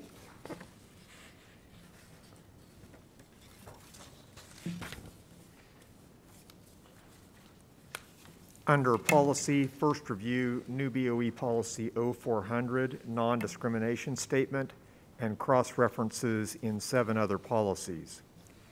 This agenda item provides a measure to amend the Wichita Public Schools Statement of Non-Discrimination, codify the Statement of Non-Discrimination in new BOE Policy 0400, and cross-reference Policy 0400 with seven other BOE policies.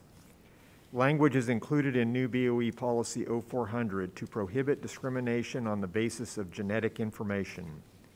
Language is also included in other existing policies to more clearly identify behavior that will be considered harassment or discrimination on the basis of sex.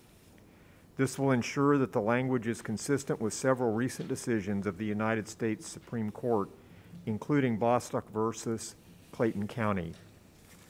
The Genetic Information Non-Discrimination Act of 2008, or GINA, is a federal law that prohibits employers from basing employment decisions on information about an individual's genetic tests, tests given a family member, family medical history, request for or receipt of genetic services, and/or genetic information about a fetus or embryo. GINA also prohibits harassment on the basis of genetic information.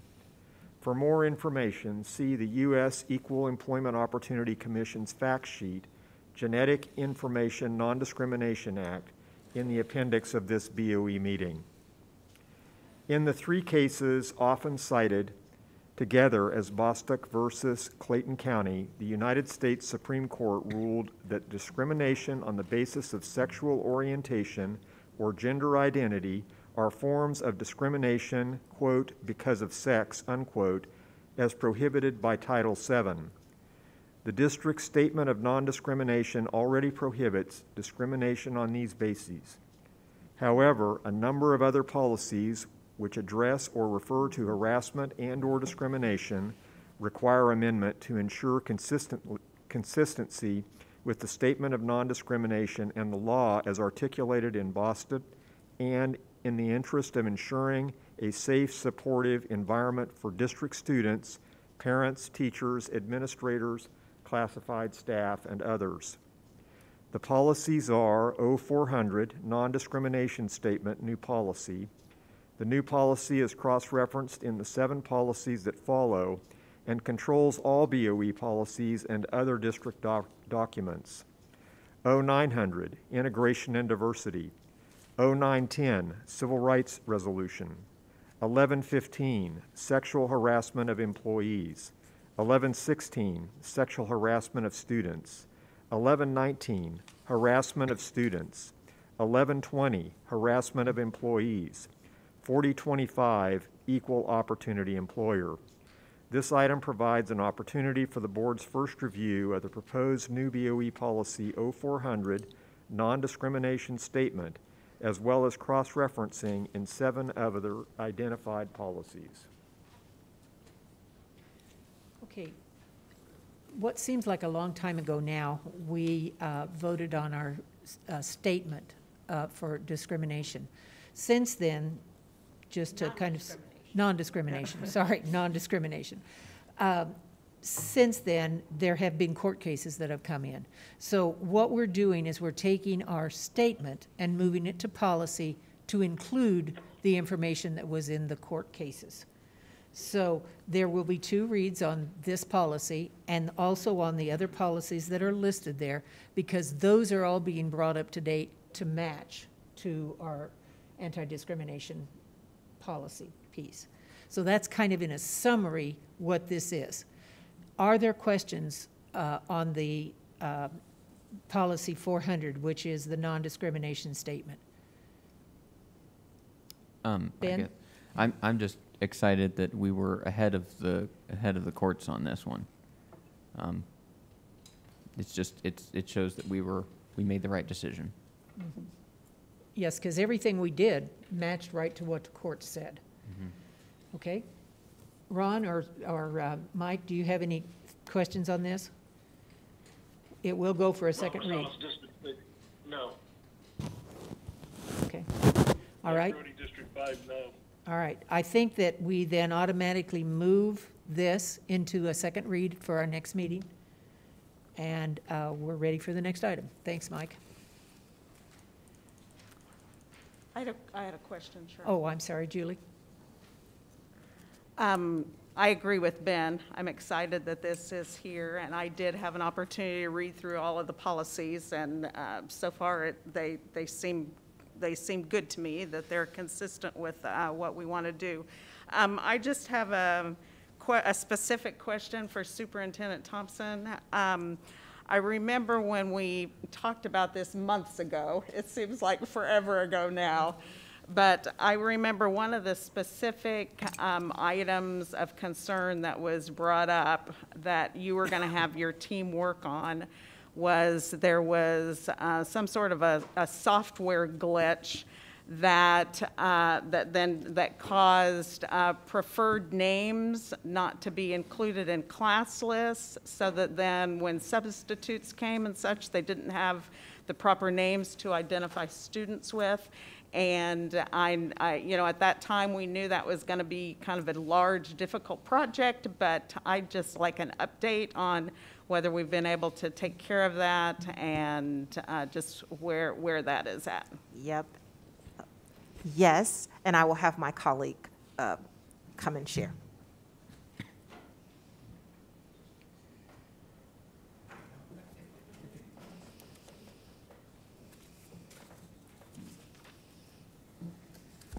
Good evening again. Uh, Rob Dixon, Chief Information Officer. Uh, When you look at preferred name, how we introduced it this last year into online enrollment, it allowed um, the parents to change preferred name. That now goes through an approval process that's then accepted by the office. We had many times uh, there were uh, just miscues in that field for preferred name because people just didn't know what it meant.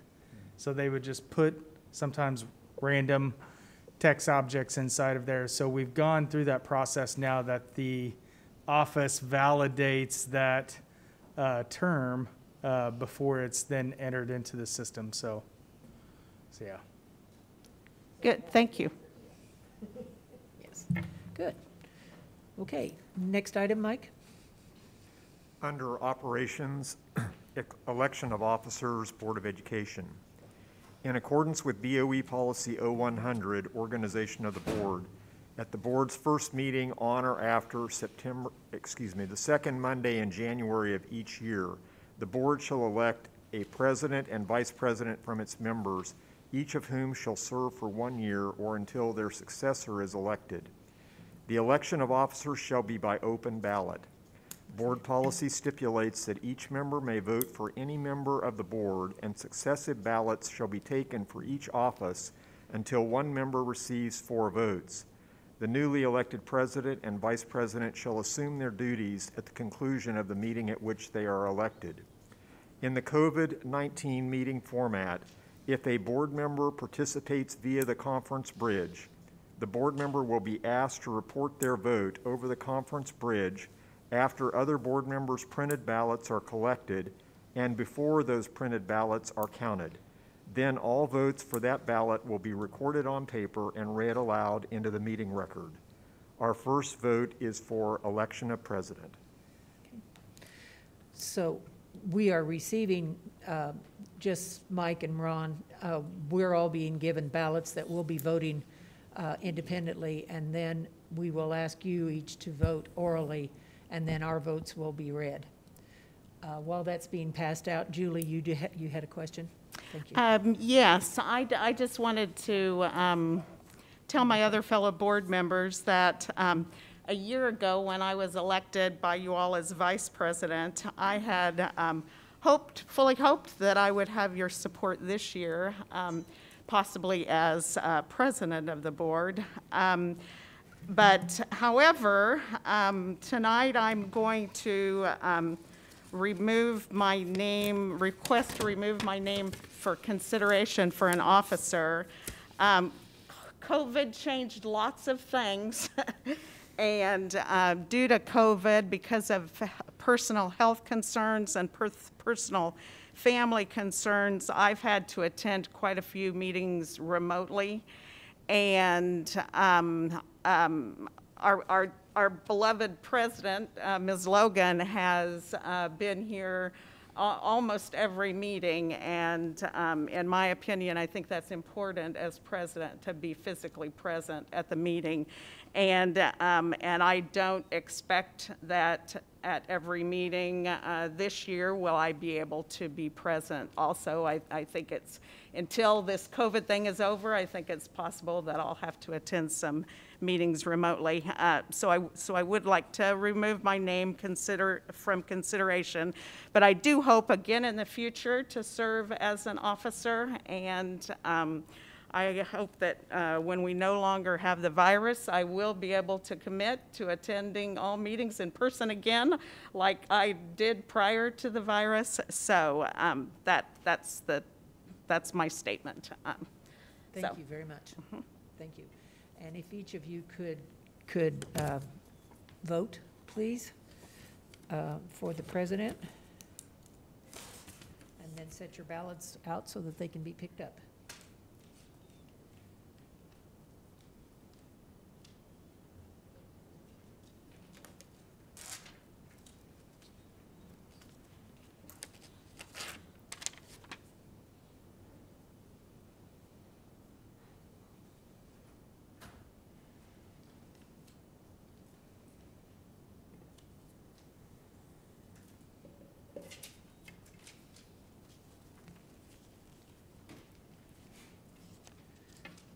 Okay, those ballots have been collected and are with uh, the clerk of the board. So Mike, would you please vote for your choice for president? Mike Rodee, District Five, I vote for Stan Reeser. Thank you. And Ron Rosales, would you please cast your vote?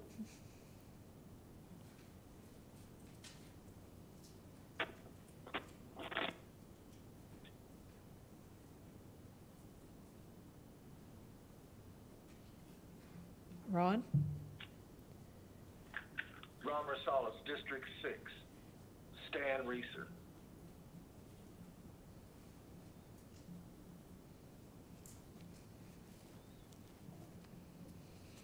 Okay.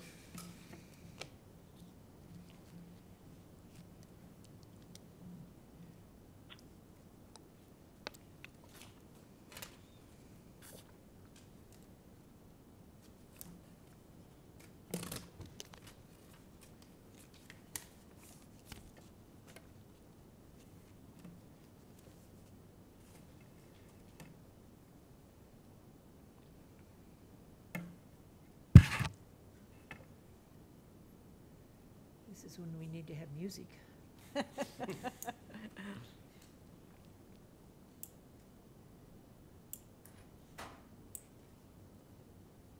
You could be like my kid who has been singing Jingle Bells every day. Well, that's a nice, happy song, even if it's the wrong season, It right? is, it is. The, the Board of Education has elected Stan Reeser as the board president for the 2021 calendar year. And the votes are as, as follows. Voting for Stan Reeser are Ben Blankley, Sheril Logan, Stan Reeser, Mike Rodee, and Ron Rosales.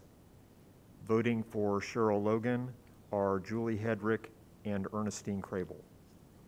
We're now ready to vote for vice president, please. Okay, congratulations, Stan. Thank you. We will follow the same procedure this time.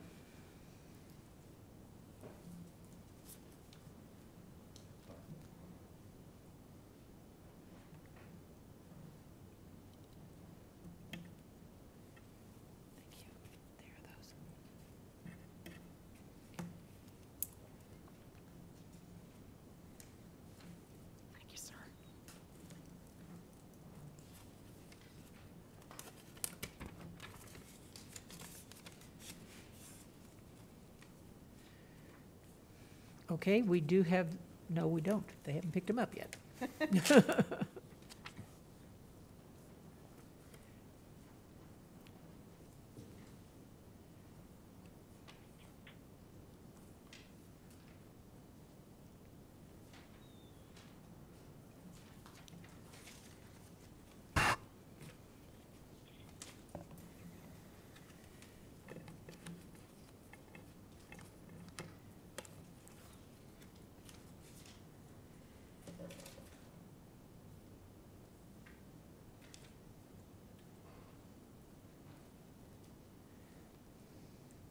Okay, the ballots have been picked up.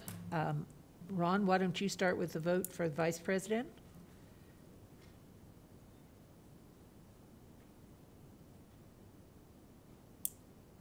Ron Rosales?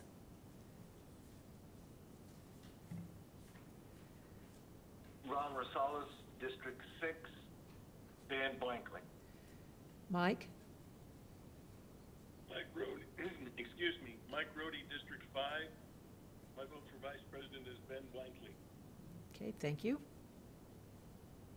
They're tallying the other votes.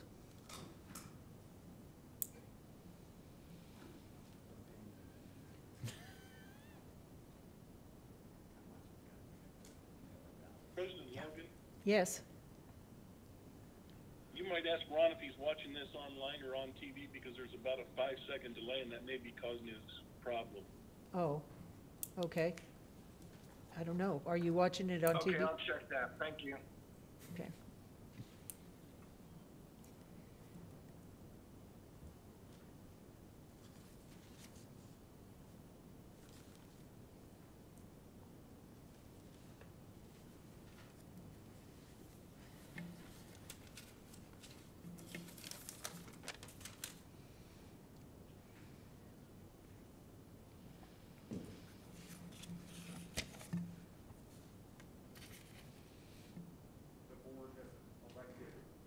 Blankley as Vice President for the 2001 calendar year, and that vote is 6-1.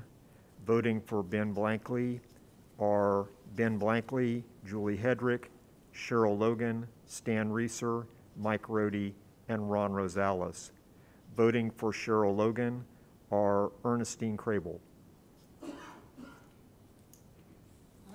So Ben, you have been elected vice president. Congratulations. We have a good slate of officers. Stan? Stan Reeser District 4, I just want to say uh, thanks for your support, and I'll do the very best I can. But I, I just wanted to take this time real quick to thank Sheril Logan for the year that she put in this year. I, I think if anybody ever wrote down the history of, uh, of the BOE, maybe if you look back, maybe the year Wichita Schools uh, integrated, maybe, I don't know. I'm not enough of a historian on our particular institution. But I think this year, um, w- the effort you made this year, Sheril, was astounding, outstanding, and we really appreciate it. Thank you.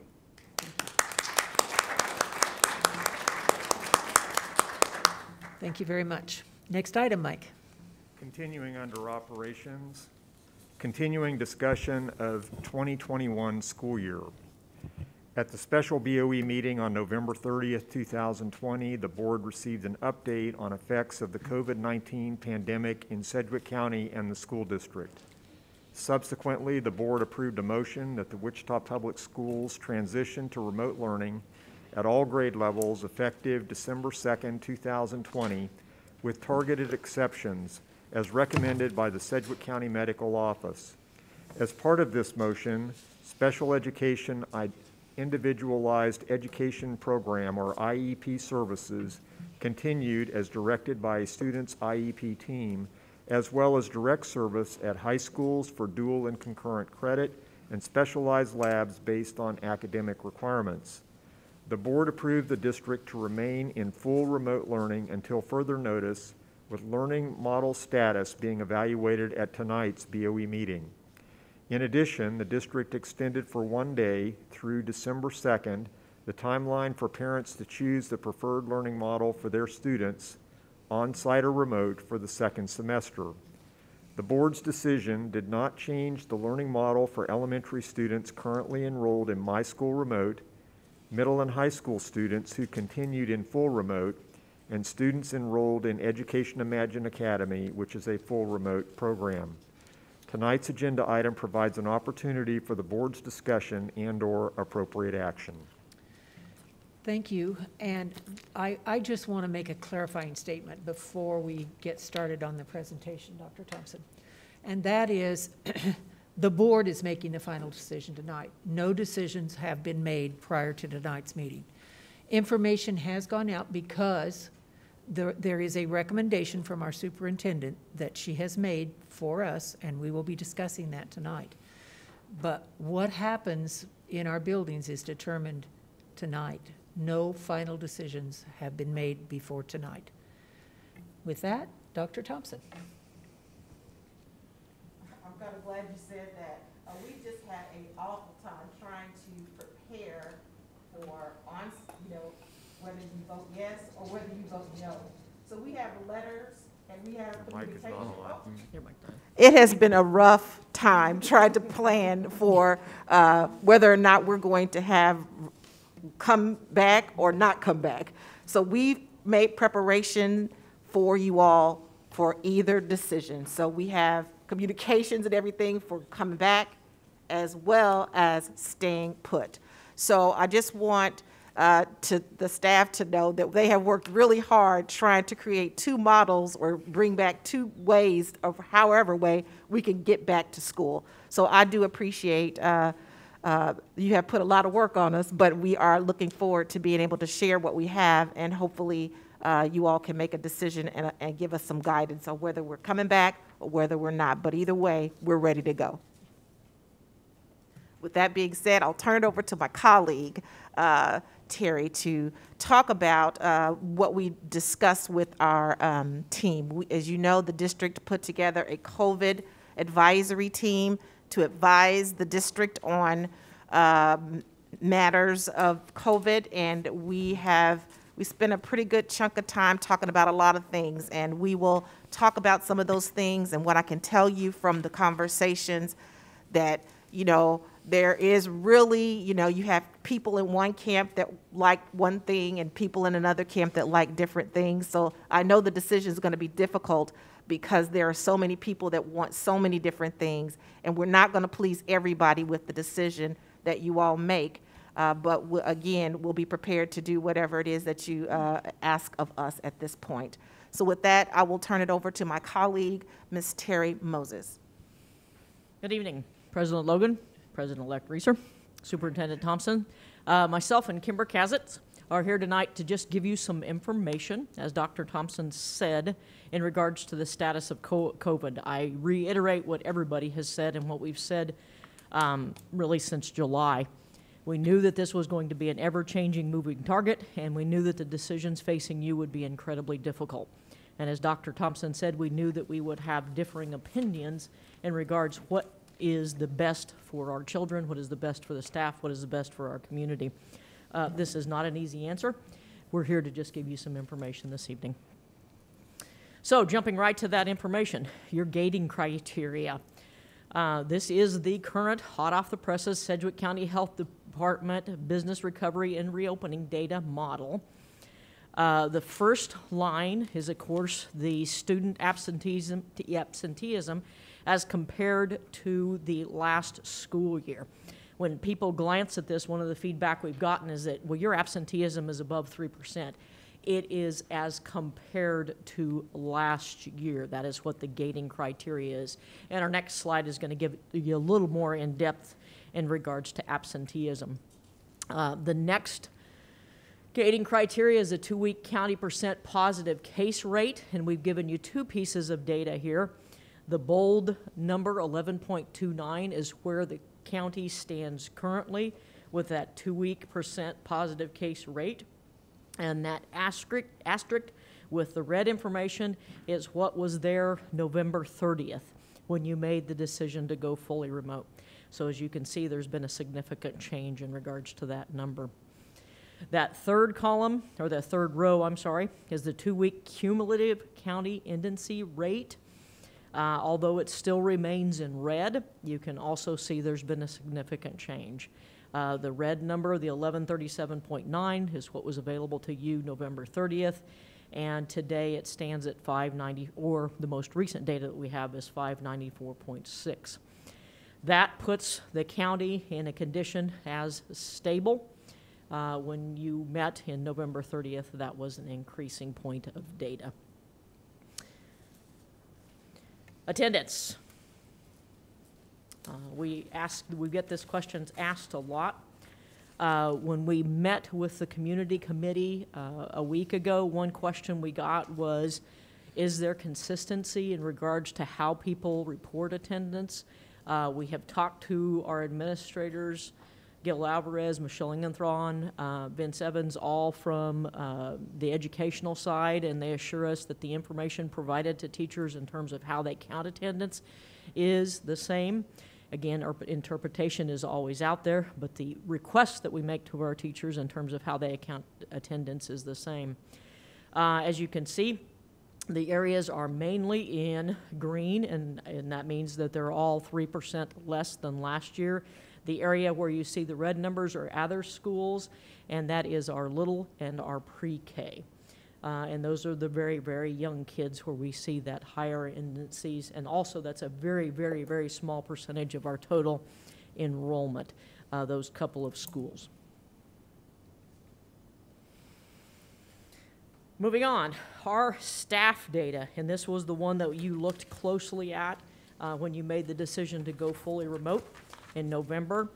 That number was 334 on November 27th. That's the positive COVID 19 cases that we had among staff. That currently stands at 231. One of the things that we did over the holiday break, and we have done since we've returned, is we've really emphasized the need for our staff to report, to let us know what their status is when you're fully remote. It- It's sometimes easy to lose contact, so we've really reached out to our staff and told us, told them to make sure they let us know what their status is. The next line, staff under quarantine, uh, is currently at 8.2%, or 602 active quarantines. In November, that was at 16%. And the big number in November that caused us the greatest number, amount of concern, or at least from my point of view, was that we had 22 in the parentheses in red schools that had 20% of more of their staff that was quarantined. We currently stand at three, and we currently stand at having one school that has 15 to 19% of their staff quarantined. Now, the exciting new news uh, is the advances that have come about in regards to testing and the fact that our school has taken the opportunity to partner with several agencies in regards to testing, and that is giving us even more data that, and the ability for our staff to have current information around their status in regards to COVID-19. So I'll turn it over to Kimber. She can give me the hide sign whenever she wants me to update the slide. Hey, Good evening. My name is Kimber Kazitz, and I'm the Director of Health Services for Wichita Public Schools. I want to thank Dr. Thompson, President Logan, um, the newly elected Stan Reeser, President, and the board for um, allowing me to speak tonight. Um, we've been working really hard um, to try to keep everyone healthy and safe and also start the contact tracing process with this testing that we have. And uh, we started with the rapid antigen testing for symptomatic individuals. This was a pilot program with KDHE. When we started, there were only 12 schools involved in this program, and now there are over 30 schools that are getting involved. However, um, there are not any schools or school districts that are at the level of testing that we are. And uh, so we have really been working to collaborate with smaller school districts and um, share information so that they can get that up and running as well, and even some of our surrounding districts. Um, I've given some test kits to them because we had extra from KDHE and they didn't have theirs. So we're really trying to be collaborative community partners with other districts as well. Um, and then the saliva PCR testing for asymptomatic individuals. This is our partnership with WSU's Molecular Diagnostic Lab. I cannot say enough positive things about what they are doing to get results back to us quickly. And this weekend, we had something amazing happen that I'm going to talk about a little later, but they're really trying to make sure that they're being customer oriented working with us. So we're blessed to have these two partners that we're working with. So we'll go ahead and move forward and just talk a little bit about rapid antigen testing. This testing began initially in November.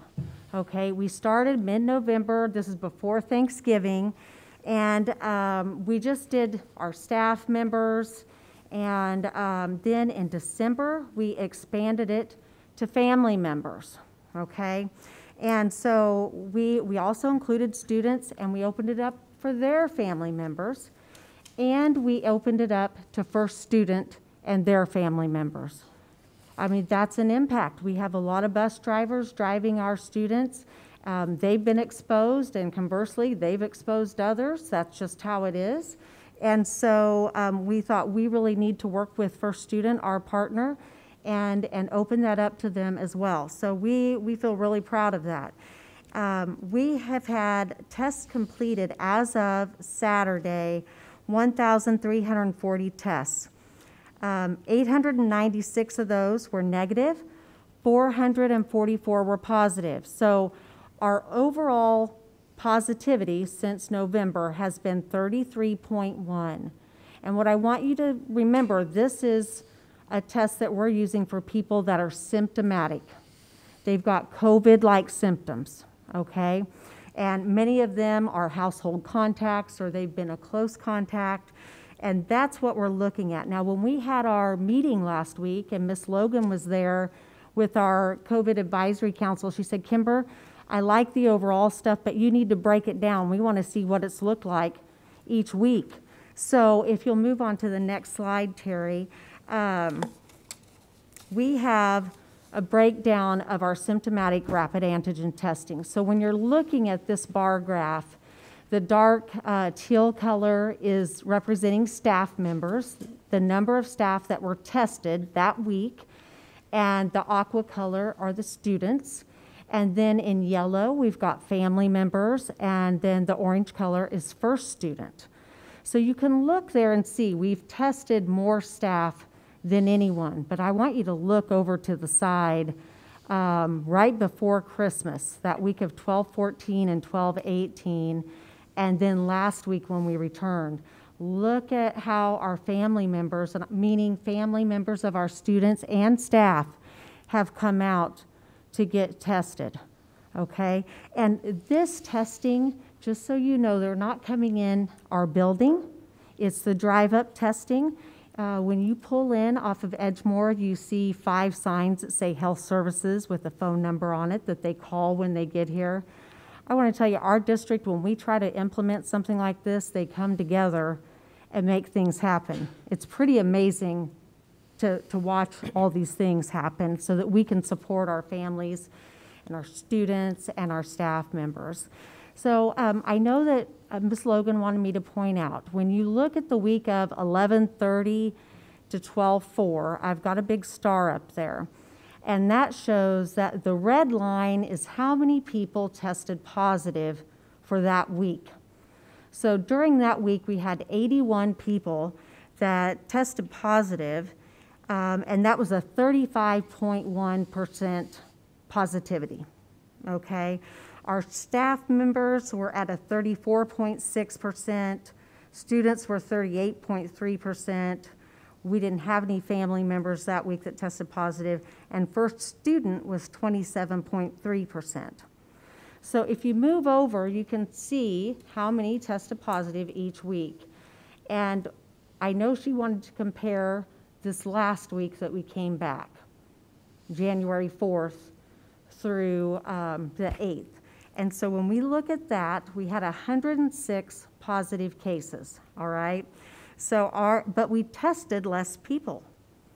Okay, so we look at that, and um, we are actually we tested more people. We tested 305 there, but we had 106 positive. So that was 34.8.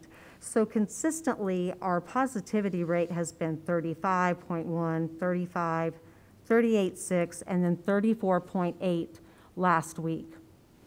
And so we take a look at this, and, and, and you can see where we started out back in November. Um, we didn't do as many tests, but the number of people testing positive was less. Uh, we always have the most is the most we'd had was 43.4% of staff members in one week. That was the 14th through the 18th of December. I'm going to tell you, it was hopping in uh, HR, it was hopping in our testing site. The nurses were busy. They were ready for Christmas break. I can tell you that with all the contact tracing.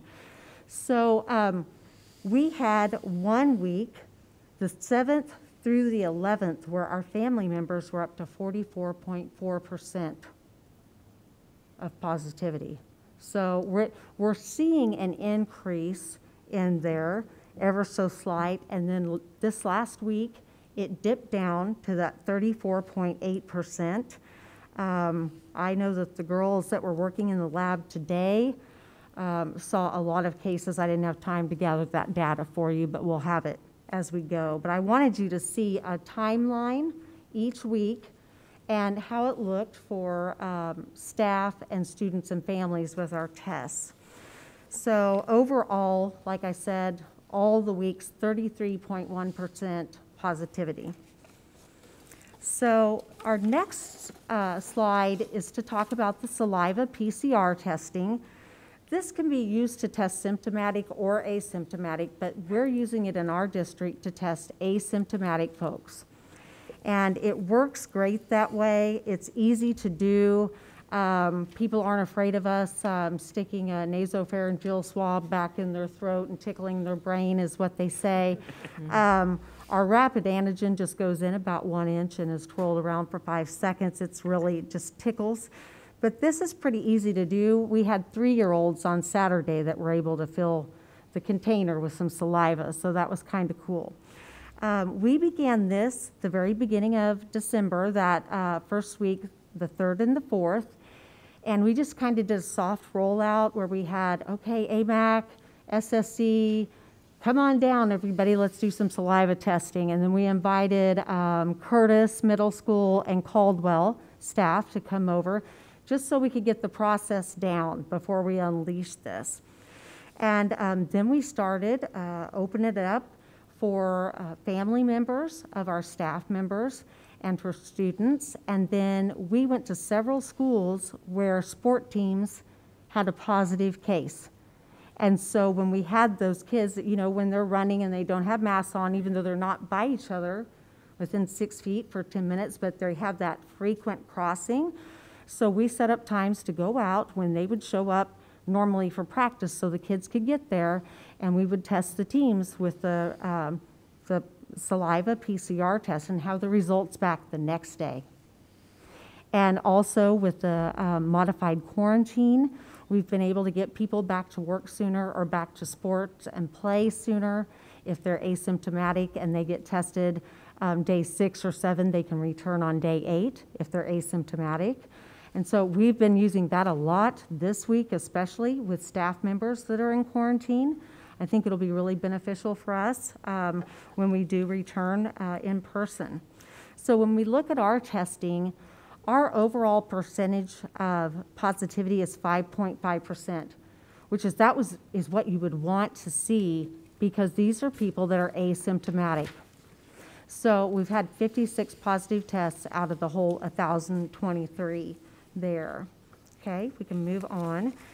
Um, here's another bar graph, and as you can see, when we started out with the asymptomatic saliva PCR, um, we primarily had staff members working in there, and then you'll see we started adding more students, and then family members, and first student. But it's still been pretty consistent that our staff members are taking advantage of this this wonderful service that we can do for free.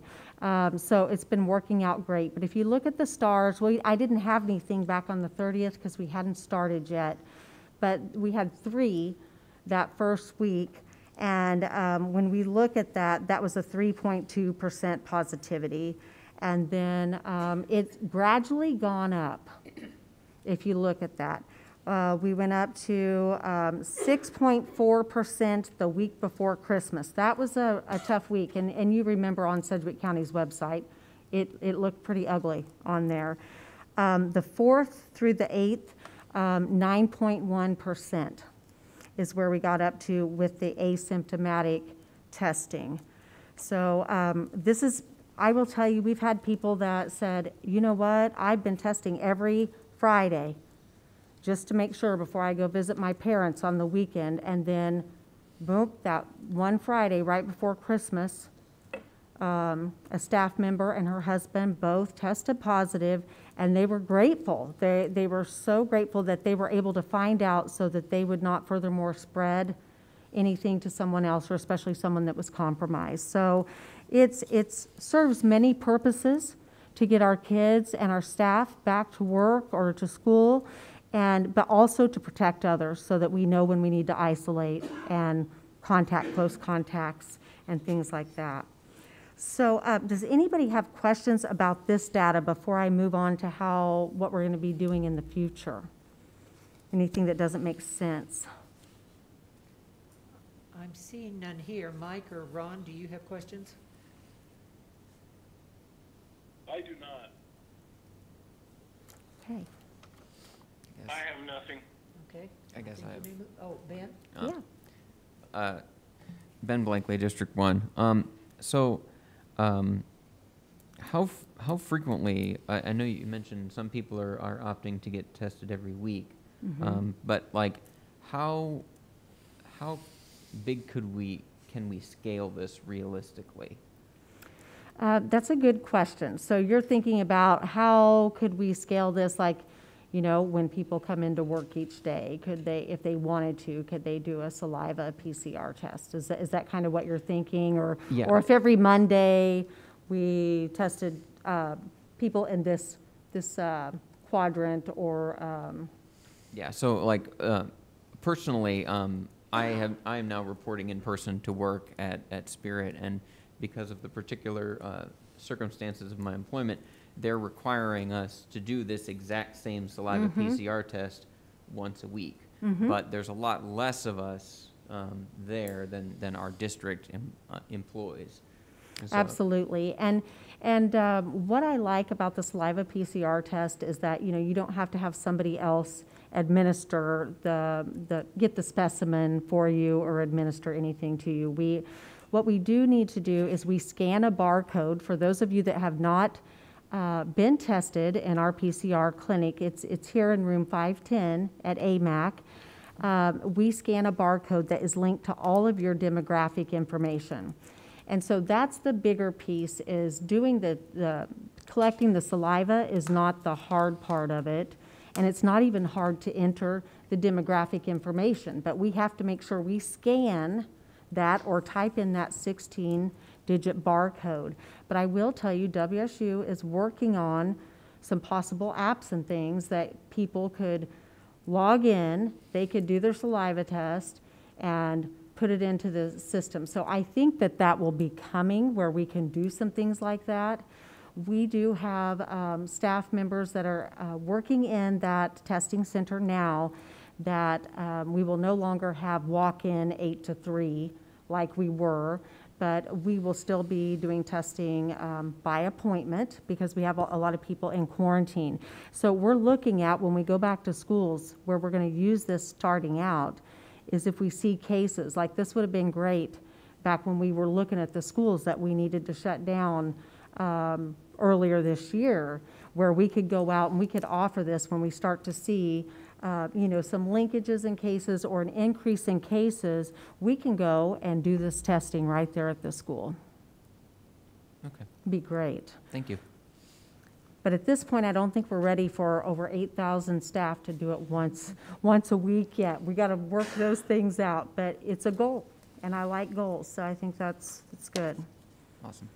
Okay, so talking about the future, um, I, I mentioned last Saturday, um, it was pretty awesome. We set everything up on Friday here at AMAC, and we held a um, saliva PCR clinic for asymptomatic people, for our staff members and their families, from 8 to noon.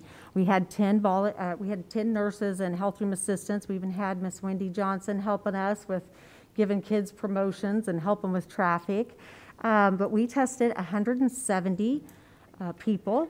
We had um, 94 staff members, 14 students, 61 family members, and one first student. uh, member, and out of those 170 folks that were all asymptomatic, now some of them were close contacts, but they were asymptomatic, maybe. So, um, or they've had a case in their house and they never got it. But we had 14 people out of 170 that tested positive. So that's a 8.2% positivity rate. Okay, so it's just interesting to look at these numbers on that because those people were grateful to find out that, you know, before they, if, if we decide to come back to school, they're like, well, I'm sure glad that I got tested and, you know, I wouldn't want to come back and spread that. So um, there's a lot of things that we can do with this. And if you're wondering about those 14 positive, 10 of those were staff members, two were remote students, and two were family members. So that's, that was the breakdown of that. So we're going to do this again this um, Saturday, the 16th, and Saturday, the 23rd, from 8 to noon. And it's just walk in. We have um, five people doing intakes. It goes really smooth. And uh, we also layered on, we did a study this weekend and we offered if people wanted to do the nasal swab for the rapid antigen. Because what KDHE has said with the test we use for that, if you do screening with that rapid antigen where it's looking for the proteins and someone's asymptomatic, okay, and they were to test positive, we would have to get a confirmatory PCR test anyway. So they said, we really don't have any data.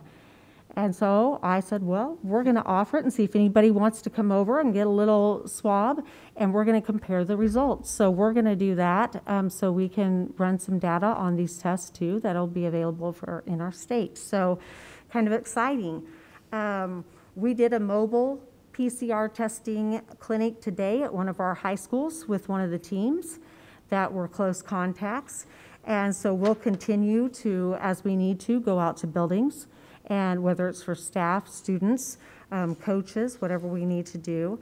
And then our symptomatic rapid antigen testing will still continue at AMAC between the hours of 8 and 3 when school is in session by appointment, and it's drive up only. No one gets out of their car. Um, we come out to you in full PPE and complete those tests. Okay. So the big question Last fall, it was when are we going to start testing? And now it's when are we going to get shots? When are we going to get vaccinations? I never thought so many people would want to get a shot and a vaccination. I've getting, had a lot of emails, phone calls, and a lot of people asked me about it Saturday when we were working here. Um, and so I want you to know that we are on the list. We have not been forgotten. If you look at number two up there, this is what Governor Kelly, um, her new graph that she put out on the 7th. And so we are on the list with the second group, okay? And I promise you, I think I, am to stalker level with KDHE asking about when we're going to get vaccines. So um, I, I'm being nice, but I'm leaving a lot of messages. Um, so, and emails. So I am advocating for all of you. I am. I got my first dose of vaccine on December 29th. And I, we need to be proud of our school nurses. With Sedgwick County Health Department, they started over Christmas break that week of the 29th and the 30th of December.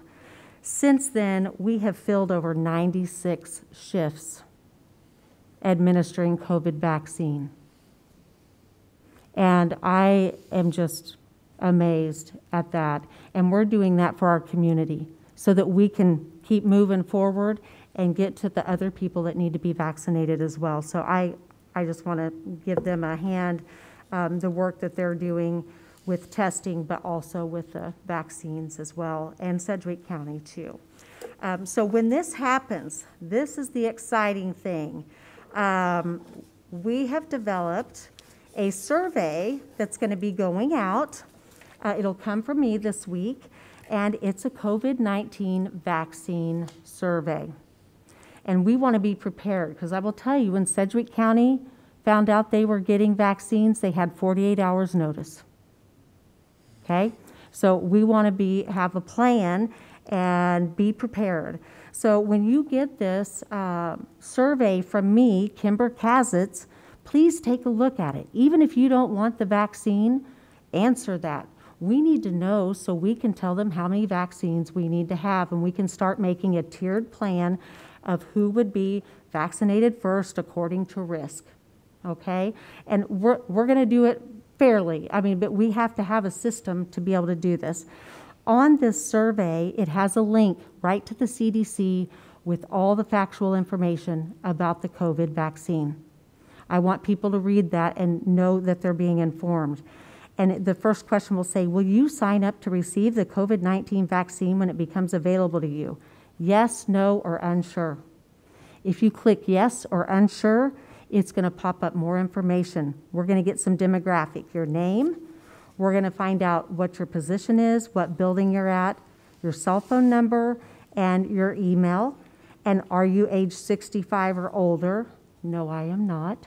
But um, and do you have any health conditions that place you in a high risk category if you were to get COVID 19? And if you click yes, then it asks you to list those. And then if you clicked no, like I am not getting poked and I'm not getting the vaccine, I don't get a flu shot, I don't do any of that. I think everybody should get it, but that's how it is. As a nurse, I want everybody to be protected. So we're going to ask you, please share the reason that you do not wish to receive the COVID 19 vaccine below so we can figure out what, you know, is it something that we've done, we've not provided enough education, you don't feel secure, or maybe you, you can't do it because of a health condition. So it's not anything secret. I wanted to be open about this. This is going to help us plan and be prepared for when the vaccines come in because they will come in. It's just a matter of when. Okay? So I think that is exciting news there. Okay, I'll take it from here. Uh, As Dr. Thompson said, uh, what we have for you now is a recommendation. Uh, And she stated earlier, we needed to plan. So information has gone out that indicated to people that this decision was before you this evening and to be prepared. And you'll also see later on, we're going to tell people to be prepared yet again, uh, because we know with COVID that is a constant. So the current recommendation before you is that on-site elementary students return on Wednesday, two days from now, January 13th. Already in the plans, pre-K students would return on January 14th. That's the earliest that they would return. All staff would return to on-site teaching and work on 112 tomorrow, elementary, and others 113. In terms of students returning to school, middle and high school students return on Monday, 125th, which is the beginning of the second semester. And of course, uh, any student that is receiving a temporary services plan uh, has been and possibly still is receiving on-site services. Always want to make sure that everyone is aware that we are meeting the needs of our students in regards to temporary uh, uh, service plans. These, whether you're on-site or remote, is based on parent choice. As you know, you gave them two opportunities before school started in uh, July to make a determination in regards to on-site and remote. And then again, uh, in December, you gave them another opportunity to do that. Uh, so currently, in the first semester, they're still going based on what decision they made in July. And then starting January 25th, that would change if those students changed. One of the things that we found when we looked at the numbers is that they've remained surprisingly consistent with about 60% of our student and our families choosing to go on site should that opportunity presented to them and 40% remote. We had some changes, but the changes one way kind of offset the changes the other way. Uh, either way, we feel like we have the capacity to, to handle the students in terms of on-site and remote.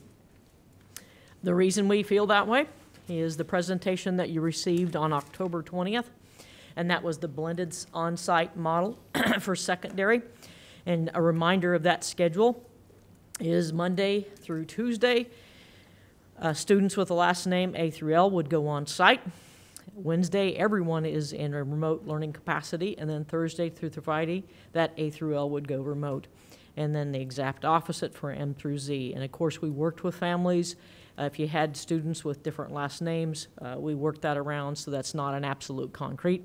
That gives the people the opportunity to meet the needs of the families uh, as they selected. Uh, Just an example, East High, our largest high school, has approximately 2,200 students. 1,300 have chosen on-site, uh, and 900 have chosen remote learning. With the blended, that would mean approximately 650 students would be there on Monday, Tuesday. 650 students would be there on Thursday and Friday. So if you visualize the size of that building and the capacity of that building, uh, that, that's kind of the numbers that you would see in regards to that. And again, we will continue to serve the students that have those temporary services plans and their IEPs. Uh, difficult situation, uh, as we've stated before. As a part of the community discussion that we had, these are the high points that we got out of that community discussion. And you can see, Kimber already said, we're already covering point one. Be organized and be ready uh, when the vaccine makes itself available. And that's one of the reasons that we're doing the surveys. Give teachers time to transition to back to on-site classrooms. That's one of the reasons that information was sent out prior to this meeting. And again, the recommendation that you have tonight. Uh, consider transitioning elementary on January 5th rather than January 13th. That was one of the points that was put out there. Uh, one of the discussions, or a couple of discussions that we've had every time we've had a meeting is, of course, that social and emotional health and also the academic data.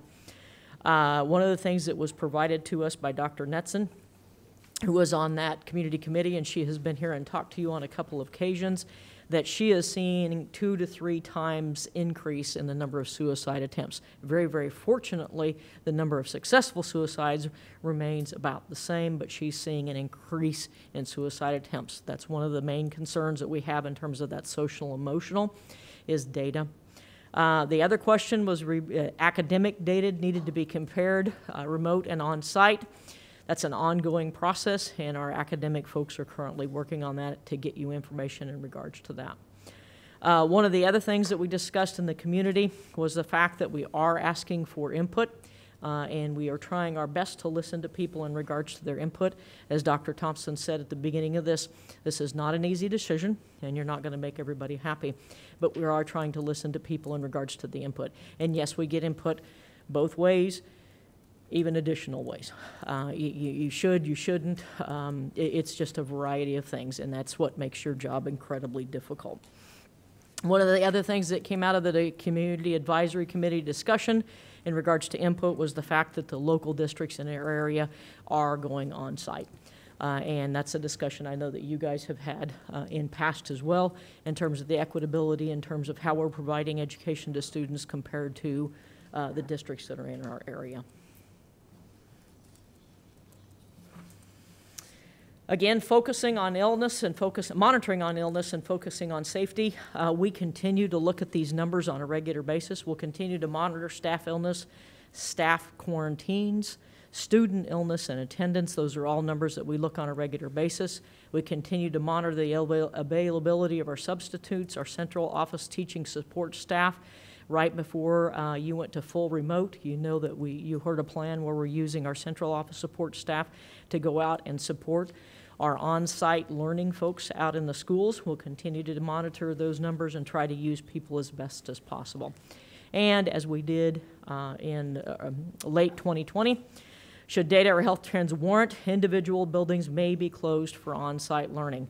Uh, we've found the value in treating things from a classroom point of view, from a school building point of view, and from a district point of view and that's that ability to pivot at different levels based on the need.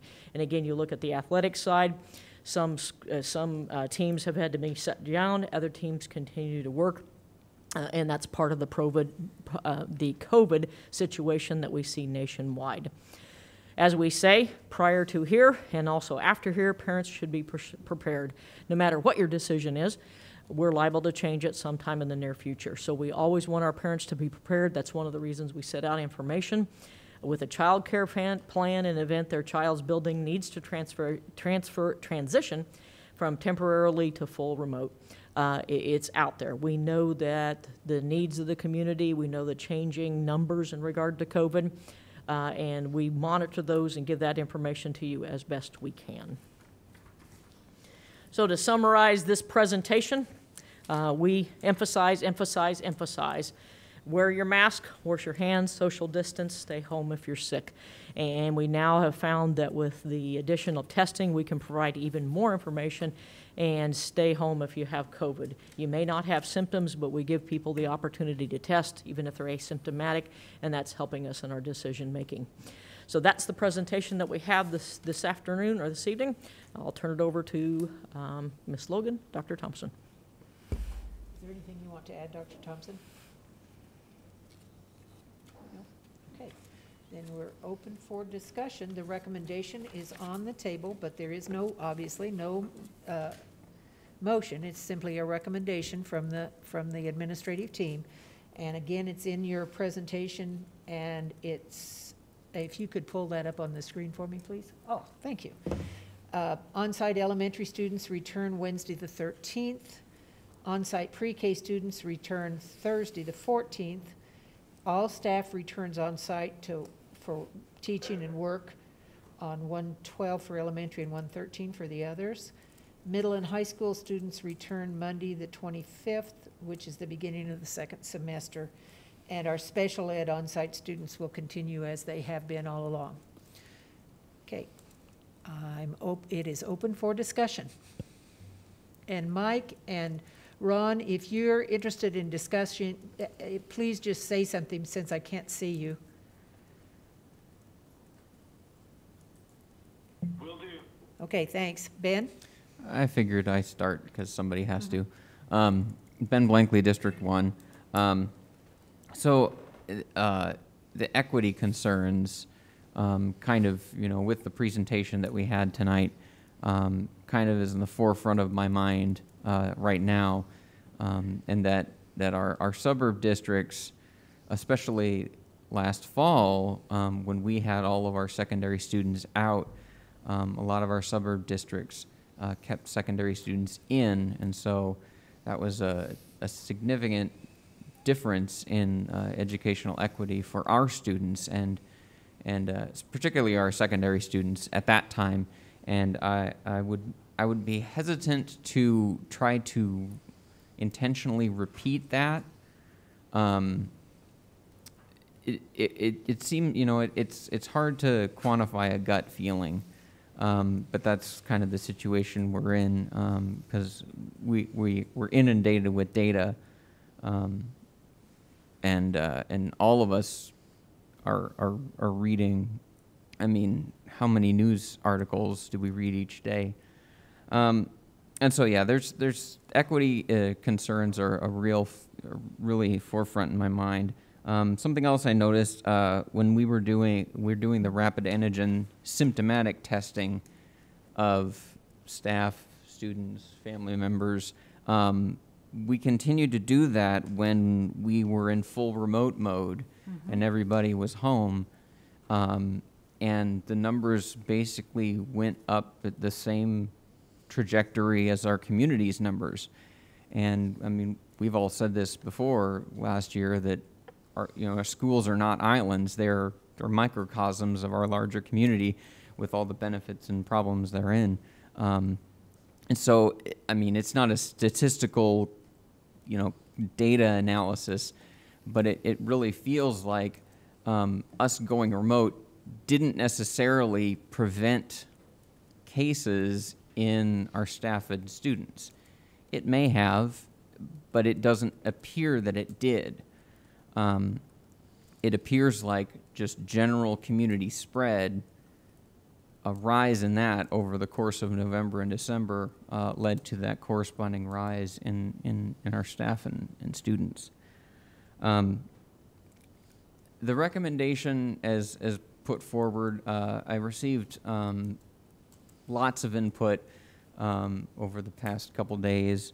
Uh, I think, I think starting everybody on at semester time makes more sense. I understand the reasoning behind the kind of phased in approach, um, but like I, I had coworkers today that came up to me and said, okay my my kids with my spouse and then we're going to have to come up with a new plan for like two days and then we've got martin luther king day and a staff in service day and then it's the end of the semester and and they it, they they were and, and these are college educated professionals and, and they were relatively unprepared for a sharp transition that we would be um, engaging them in if we approve this recommendation as written.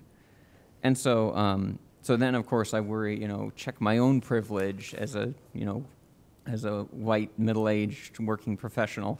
Um, there, I've got access to a lot of resources that a lot of people don't, um, and I'm, and I am at a loss of how I would react to that quick of a switch in my child's learning model, um, especially because of how frequently we've, uh, for better or for worse, done those quick switches to our families this past uh, year.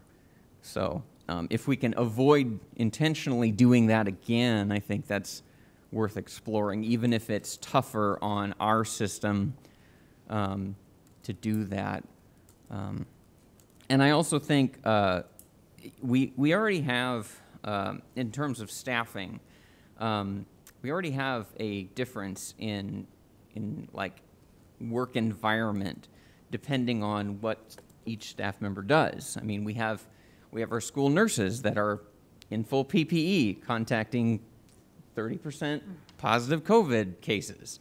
Um, we've got our special education teachers and paras, um, some of whom haven't uh, don't don't have the opportunity to work from home. And so, with that in mind, I don't think it's a much further uh, change in our work environment um, inequity uh, to say that if you're teaching remotely, you should be able to continue to work from home, especially because we did that based upon Dr. Minns's order, and his order is the same now as it was in November, um, with the suggestion that anyone that can work remotely should work remotely.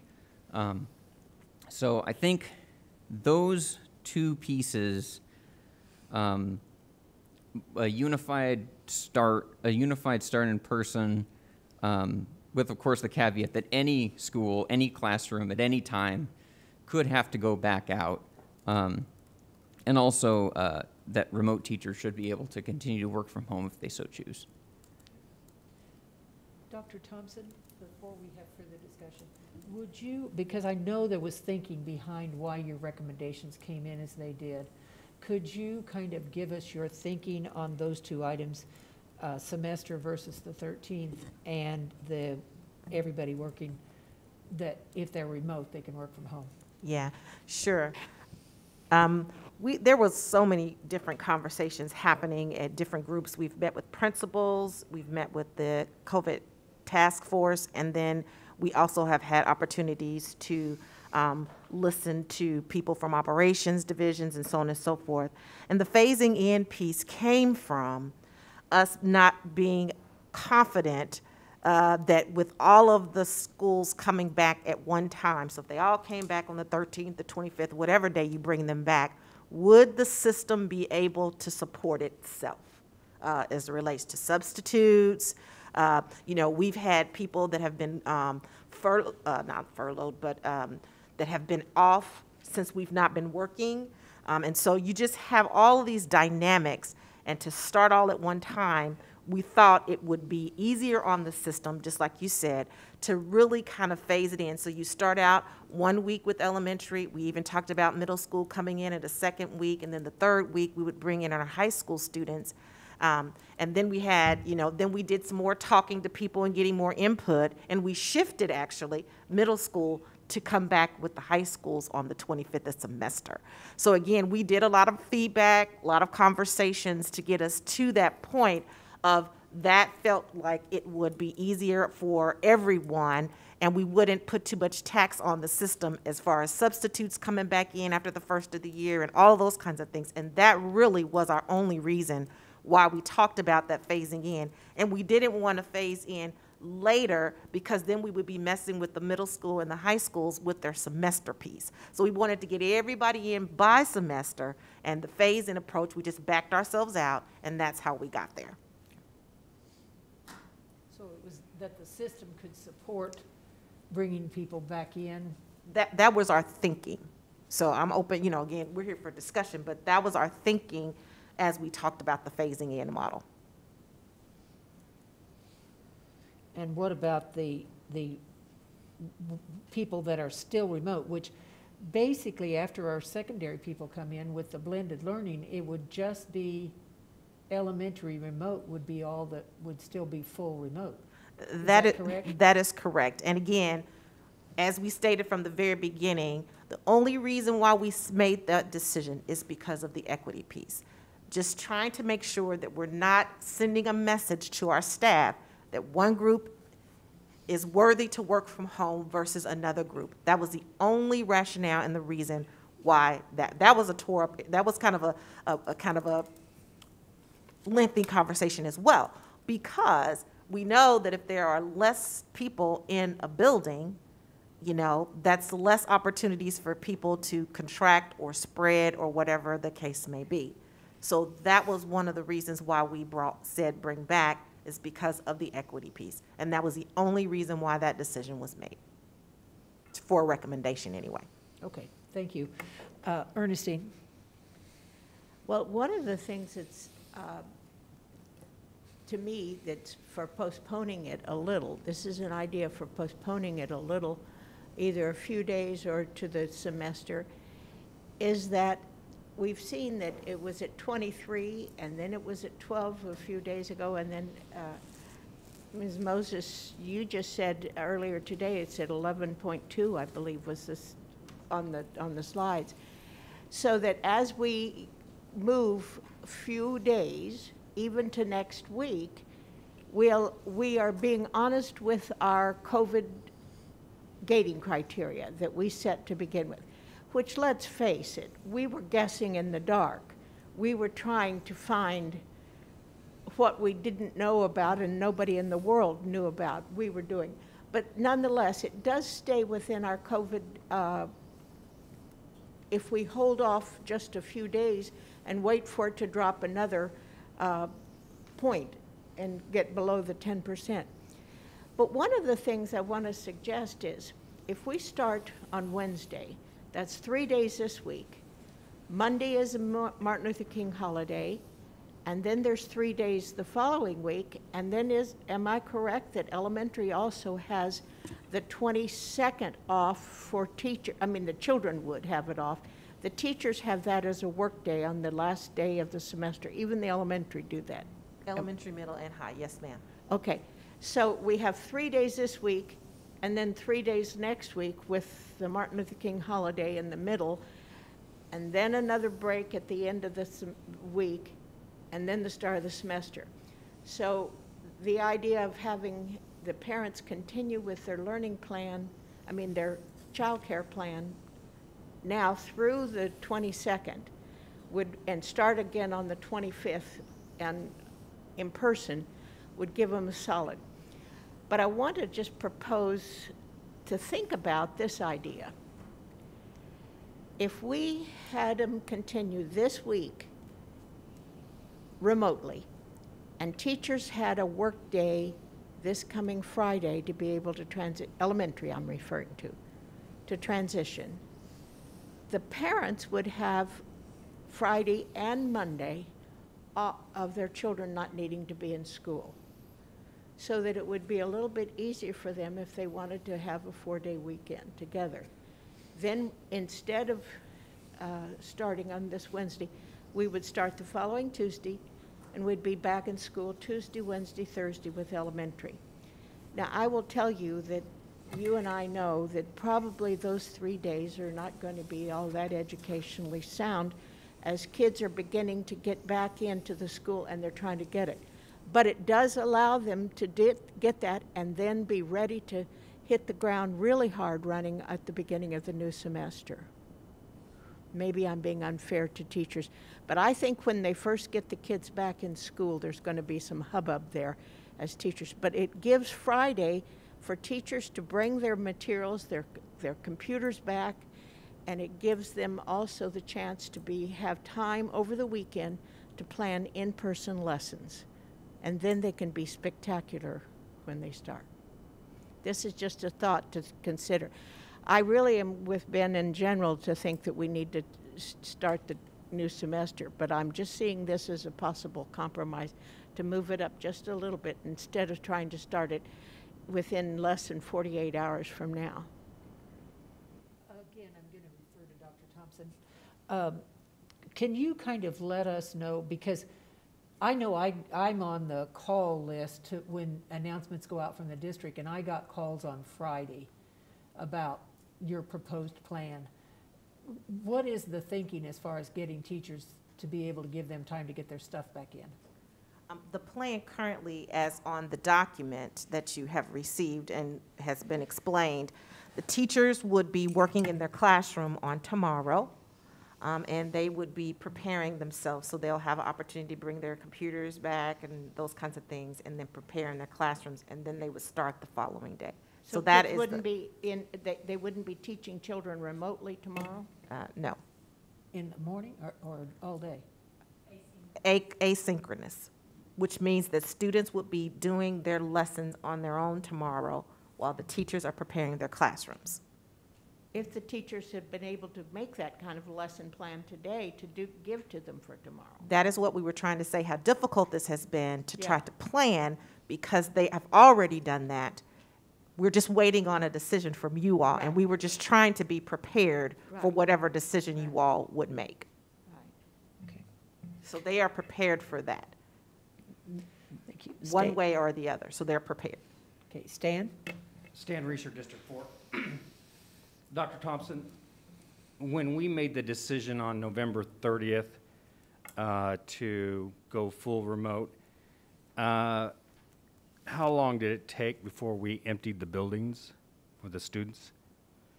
Um, we were on the thirtieth, I think it took us, well, we gave teachers this time two ti- two days to transition because they did not have, the teachers that were teaching face-to-face needed opportunity to do professional development. So we moved, we shut down all of the schools for two days so that the teachers could get professional development, get their equipment set up at home, and work with their colleagues on developing lessons to move forward. So in two to three days, we were down. We were down two. Okay. I, I believe it was two. What is, what is our largest suburban districts doing? Uh, When did they go back after winter break Are you talking about around us? around us? They went back to school Jan, J- the first, well, January 4th, that was the first day back from school. They went all back January 4th. Um, And what is the Kansas Department of Education and the uh, Kansas Board of Education uh, saying about in-person learning? Um, there was a State Board of Education meeting um, that happened sometime in December where the State Board of Education and the Commissioner of Education made a, an announcement, a statement that they wanted all elementary in particular to be back on site as soon as possible.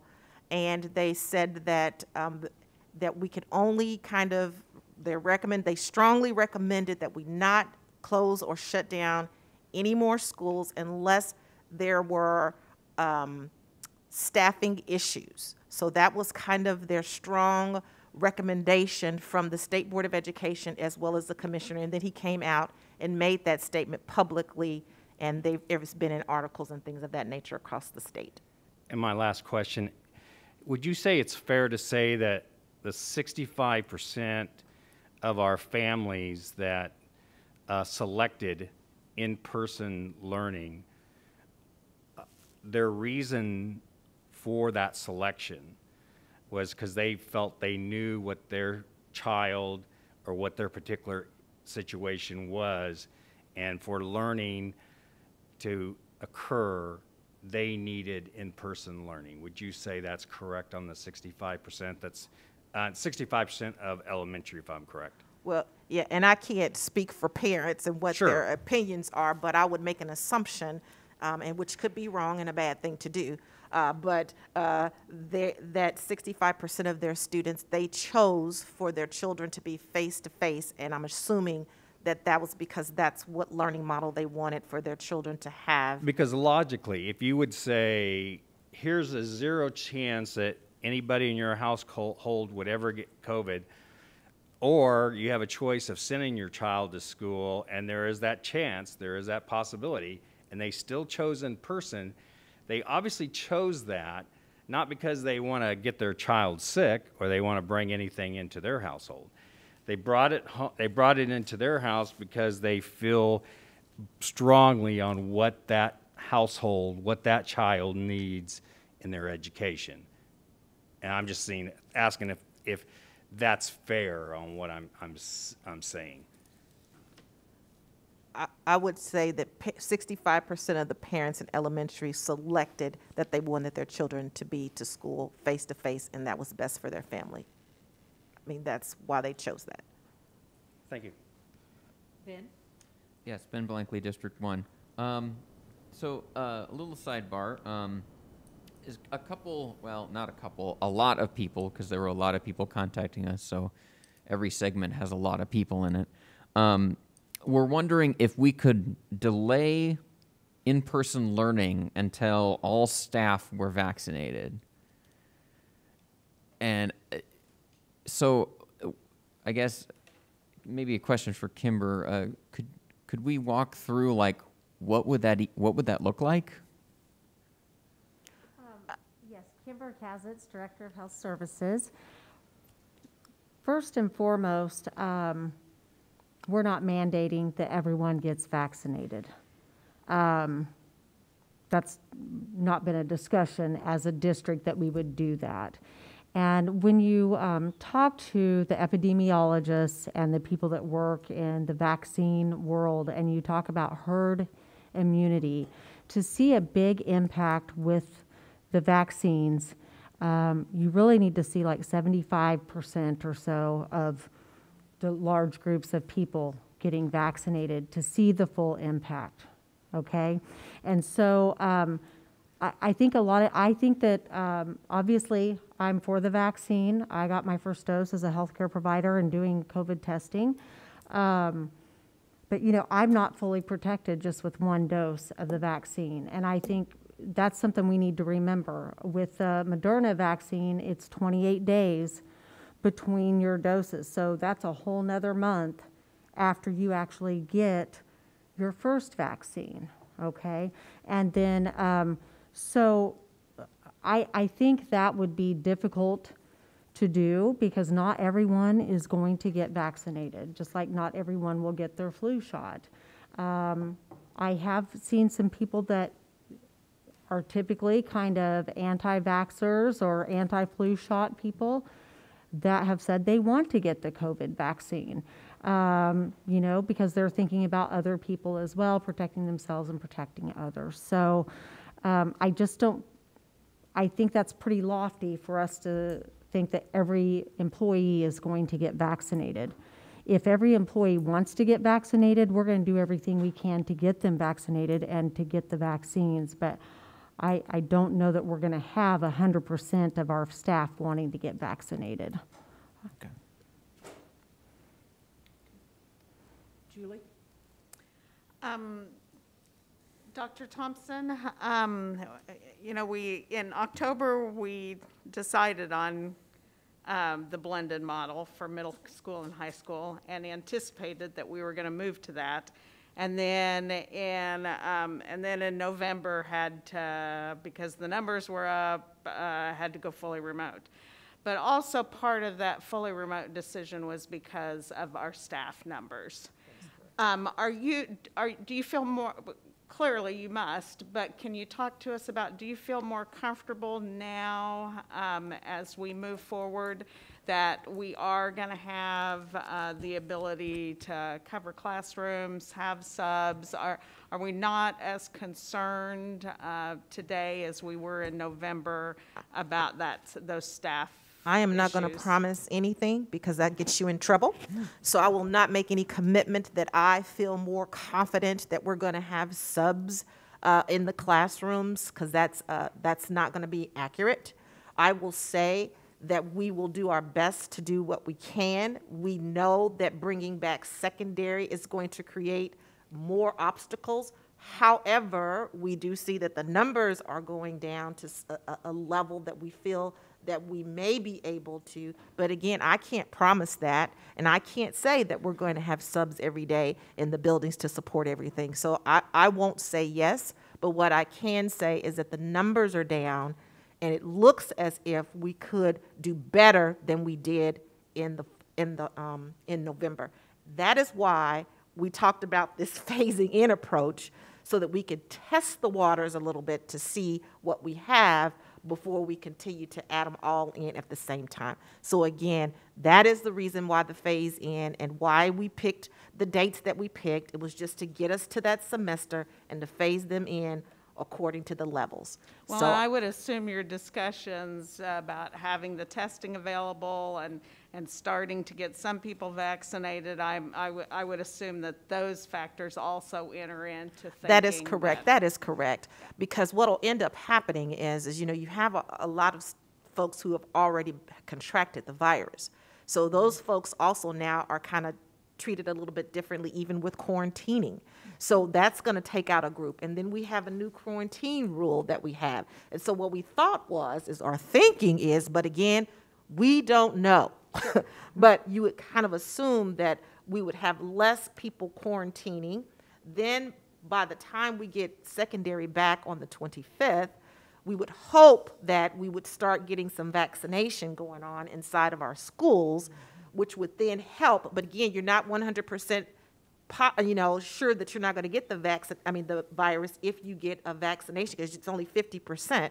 So again, but it gives us better chance to make it. And then 28 more, 28 more days, 21, depending on, upon the, the, um, the types of vaccines that we get, then we could then make it until the finish line. So we're kind of, I mean, literally, that was our thinking. But it's no guarantee with anything. But we were trying to see how we could get kids back if we could. And then because there's no guarantee, that's why you're wanting your families to be prepared, that if we do have a staff source shortage at a particular site, that that particular site would be shut down as opposed to eliminating the possibility for the entire district for students to have That is, learning. that is correct. And so we were trying to then be able to isolate specific classrooms or buildings and be able to, to uh, shut those down. And that's why it's so important. I mean, people say we don't give them a notice, but we, we, we say this every time, that you could be in and out. And we've said that from the very beginning, that there could be opportunity, I mean, it is uncomfortable. It is, it is inconvenient. It is, it is not what we would, that's not how we typically operate, jerking people in and out. But it is COVID, and I'm not sure how else we get kids in and people out without the disruption of moving your stuff, moving here, doing this. It's just part of what it is, and I know it's not what we want to be asking people to do, but it's just reality.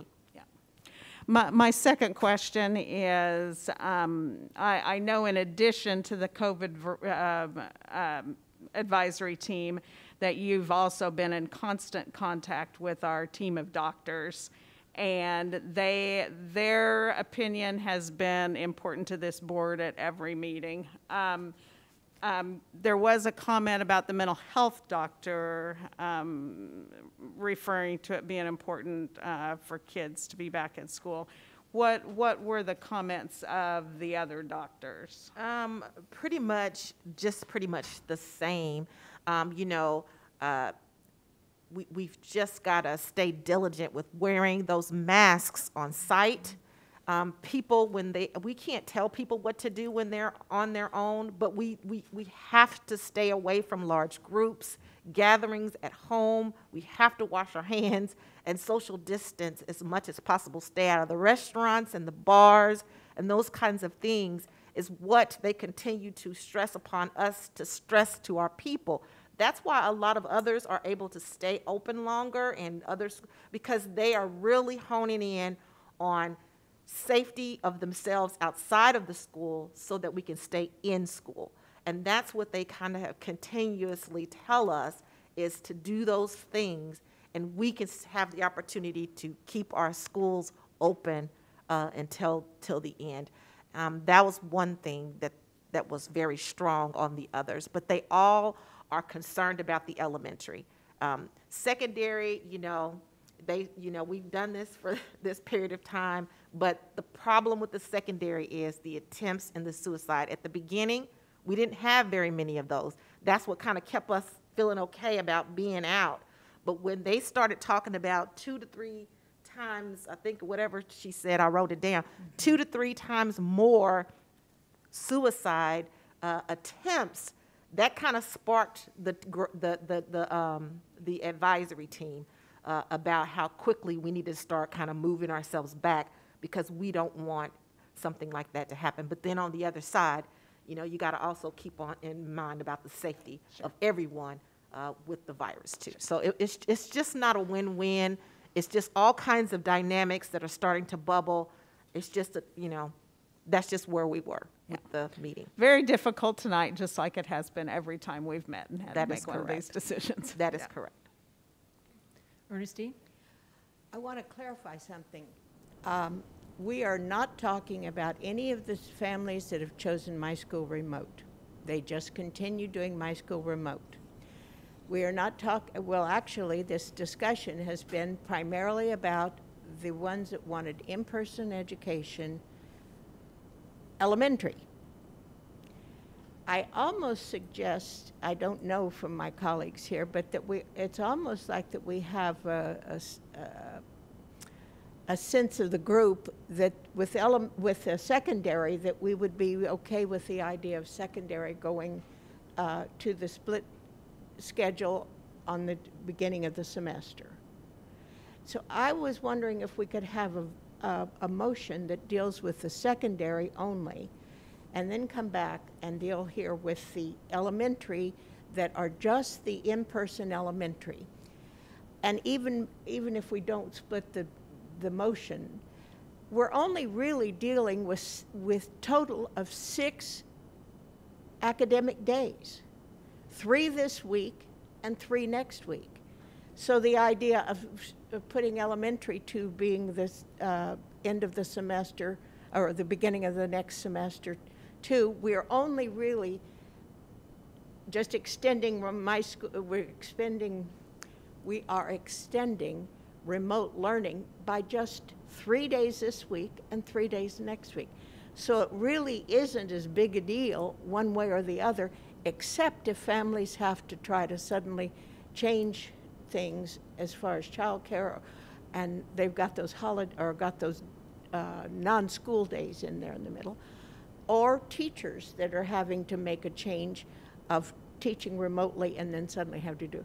So I think that I would definitely be in favor of us voting for the secondary to go back with our uh, hybrid plan of some students, to, half of the students going Monday, Tuesday, and half of the students Thursday, Friday.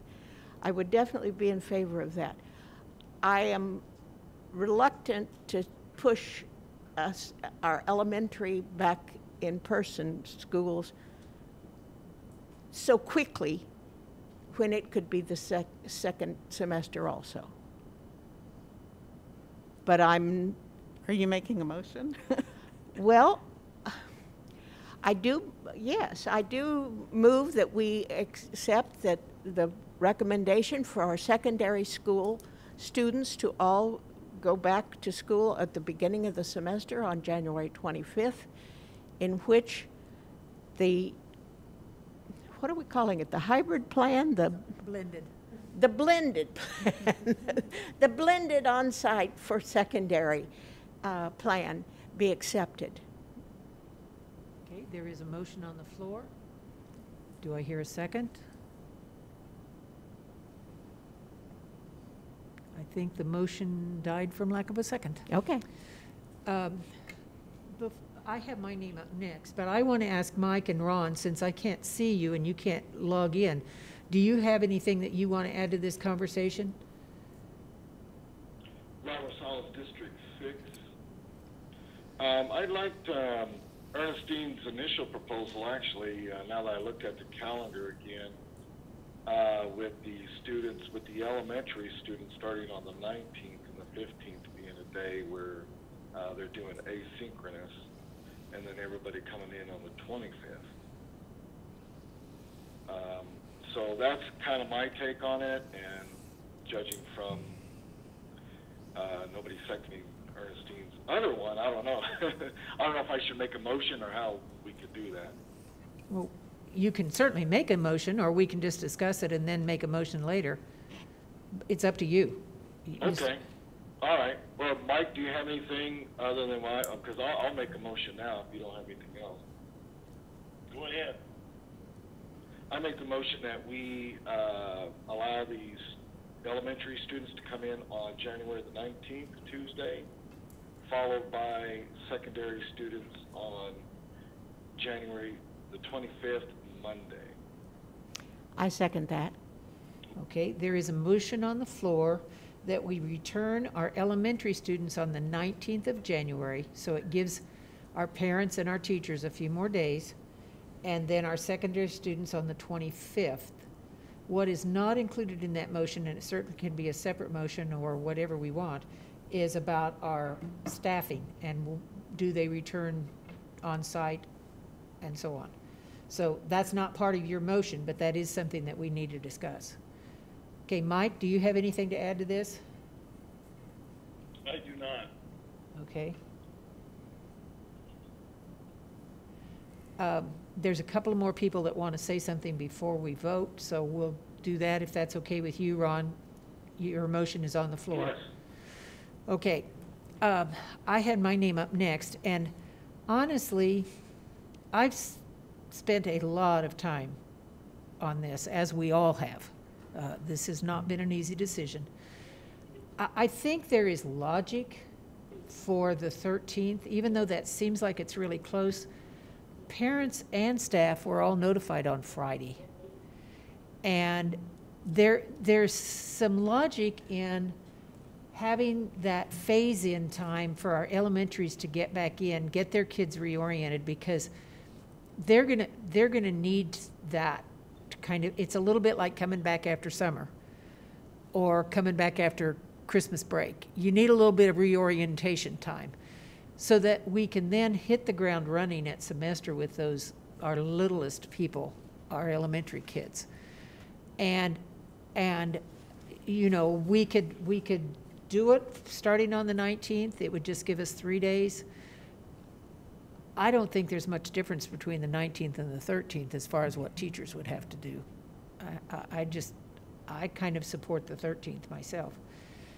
I also think that because of having staff back on board in the buildings, there is advantages of having all your staff in a building. Even if you're having discussions over the computer, there's still advantages in having staff in the building. I, I think there's a real advantage, and because we're going to have all of our secondary staff back with, with a blended learning.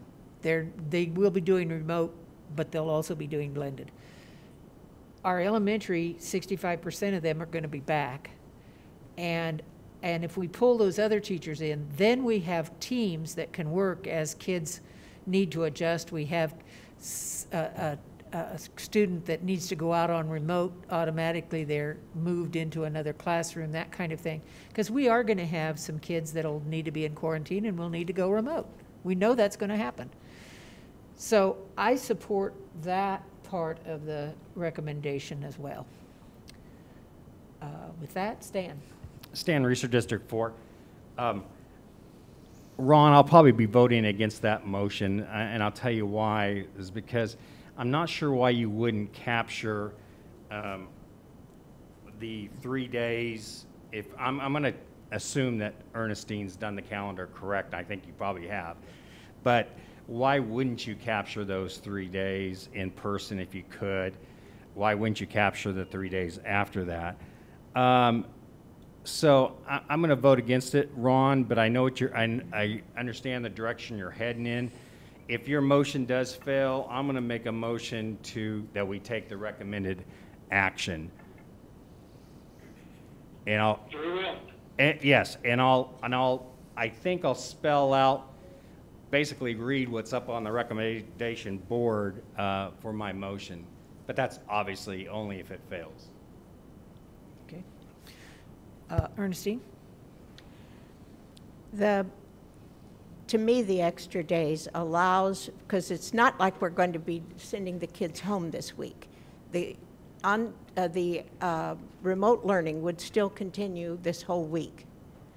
And so that there would be no, uh, no gap, except if we take the Friday to allow the teachers to get their materials back into schools and carry in their books, carry in their computers and that thing. So this is basically a work day on Friday.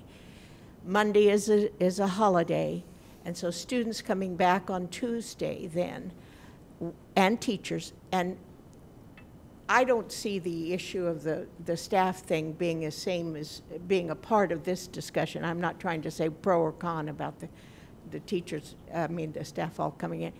But to me, that gives a, a lead-in time this week for families.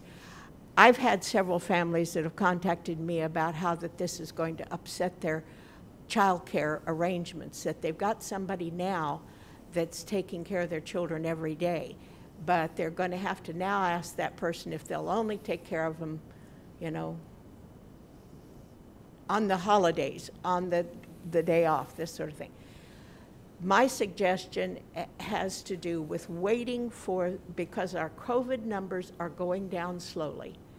And right now, we're at 11, that by next Monday, actually by a week from tomorrow, that I can believe that it will be at the 10, because it was at 12 last week, Friday. It's at 11 today, I believe by next week it'll certainly. So that has a lot to do with it. The, I believe that we need to sort of, we said this was our guideline, our, our gating criteria, and I think that that's a way that it doesn't feel quite so much like we're giving people whiplash. And I want to apologize to the board members. I know there was another speaker, and when I hit it, it took it off. Who, who- who had put their name up? Was it you, Julie? Okay. Oh, okay. All right. Uh, Mike and Ron, do you have anything else to add? Because there's no more speakers here at, on site, and then we're going to have a vote. I don't have anything. Ron Rosales? No, I don't have anything. Okay. Uh, Then I will call for a vote because I see no other questions from the floor here. The motion was made by Ron, seconded by Ernestine, that we return the elementary students on January the 19th and the secondary students on January the 25th. So uh, we will need to take a voice vote on that. We'll start with Ernestine. Ernestine Krehbiel, District 3, yes. Julie? Julie Hedrick, District 2, no. Sheril Logan, uh, at large, no. Stan Reeser, District 4, no. Ben Blankley, District 1, no. Mike? Mike Rodee, District Five, yes. Uh, Ron Ron? Rosales, District Six, yes. Motion fails four to three. Stan? Uh, Stan Reeser, District 4. Um, I'd like to move that we take the recommended action that the Wichita Public School return, transition and return to on-site and remote learning models for elementary schools on January 13th and for pre-K students on January 14th. In addition, middle or high school will transition to the blended on-site and remote learning on January 25th. All staff will return into, uh, in person to their assigned building starting Wednesday, January 13th. The motion will not impact families who have selected the remote uh, learning model, such as what Ernestine was mentioning, for their student or enrolled in Education Imagine Academy or have a student who's already on site being served um, through a temporary service plan. I think that summarizes the recommendation. Did I leave out anything out, Mrs. President? No, I think you, I think you have it. That's the motion you want to make. Is there a second? I second Julie Hedrick, District 2. Okay, there is a motion by Stan Reeser and a second by Julie Hedrick. I'm seeing no discussion here. Mike and Ron, do you have any discussion on this motion? Ron Rosales, District Six, no. Mike Rodee, District Five, no. Okay, then we will vote. Let's begin with, are we all clear on what the motion is? Mm-hmm. Okay, begin with Ben. Ben Blankley, District 1, no. Stan Reeser, District 4, yes. Sheril Logan, at large, yes. Julie Hedrick, District 2, yes. Ernestine Krehbiel, District Three, no. Uh, Mike, Mike Rodee, District Five, yes. Ron, Ron Rosales, District Six, yes. okay, the motion passes five, two. So Superintendent uh, Thompson, are you clear on what we should do? I think so. Um, I think so. Um, Mike, did you capture that? Okay, so I am clear because Mike has captured it and, and we will, we will Well- move, we, we will move accordingly. Yeah, I think he just simply, we had just adopted your recommendation. Except that there was one difference, and that all staff will return on the 13th instead of the 12th. The motion he said was that all staff would return on the 13th. I was trying to go off of that. Yeah. it's on the, the elementary, tom- tomorrow they return because that gives them the day to, to do their bill, come back in and get their computers back in. I didn't pick that up when you made the motion. Mike, I- did you get that? I picked that? that up, and I was almost going to say, did you mean that? But it, it puts everybody back at the same time instead Okay, of, a- but that doesn't give us a day for the elementaries to bring their computers back in. So, do we, We could revote. we, y- yeah, we could, we could vote just on that one issue if I we had a think that's motion. what we should do, is just vote Yeah, I on that think one that- issue. Okay, on the, on the one issue, does someone want to make a motion? Sure, I'll make a motion. Okay, Julie? I make a motion that all staff will return to on-site teaching work on 112 for the elementary and for 113 for all others. Stan Reeser, District 4, yes. Um, Second. The motion was made by Julie that we have our elementaries return on the 12th. That gives them the, the day to get their computers in. And other staff returns on the 13th. Now, in my understanding, that means that they will come tomorrow, but they will not be doing remote teaching tomorrow with their students. So tomorrow, the parents will have to know that there is no remote education for elementary school for tomorrow. They will still be. That is correct. We'll make sure that the right emails and communication is sent, because we have two, two sets. So staff, as you leave and you're communicating with folks, make sure they're sending the right communication so that we don't confuse people. We want, we, basically, that's what your recommendation said, was that elementaries come back on the 12th. Th- and that is- Secondaries come back on the, or others come back on the 13th. That is correct. Okay, the Stan, uh, no, Julie Hedrick made the motion Yeah. and Stan Reeser seconded it. I'm seeing no, co- no comments, so let's vote, starting with uh, Ernestine. Ernestine Krehbiel, District Three, lost what, I- where I wor- li- live. Uh, Yes. Julie Hedrick, District 2, yes. Sheril Logan at large, yes. Stan Reeser, District 4, yes. Ben Blankley, District 1, no. Um, Mike, Mike Rodee, District Five, no. Ron,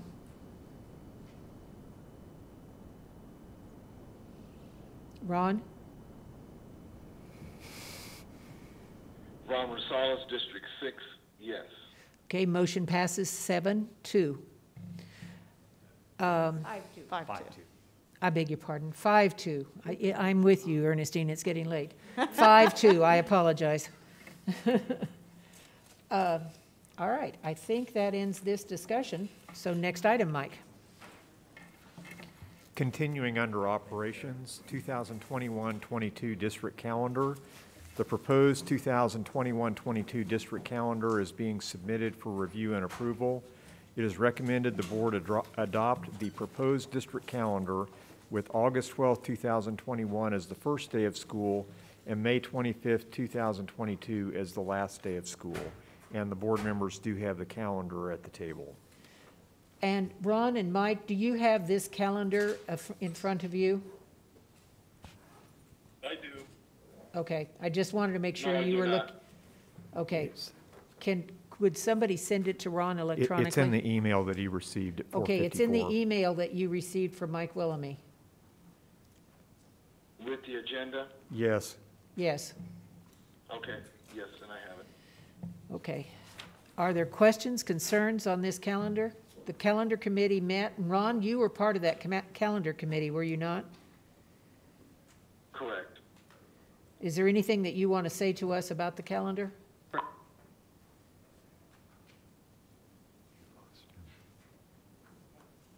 think that beep means we got disconnected. I think he's Yes. disconnected. Are you there, Ron? Because it sounded like you may have dropped off.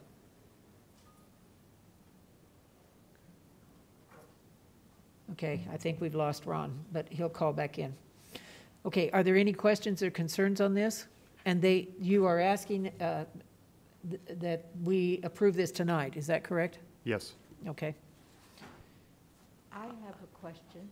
Ernestine? Is there any reason why the urgency that we have to adopt this tonight and we couldn't postpone it to the next meeting? I mean, it, it doesn't matter. I mean, this is our typical time of doing this work, but if you're overwhelmed and you can't, can't do this, then that's fine.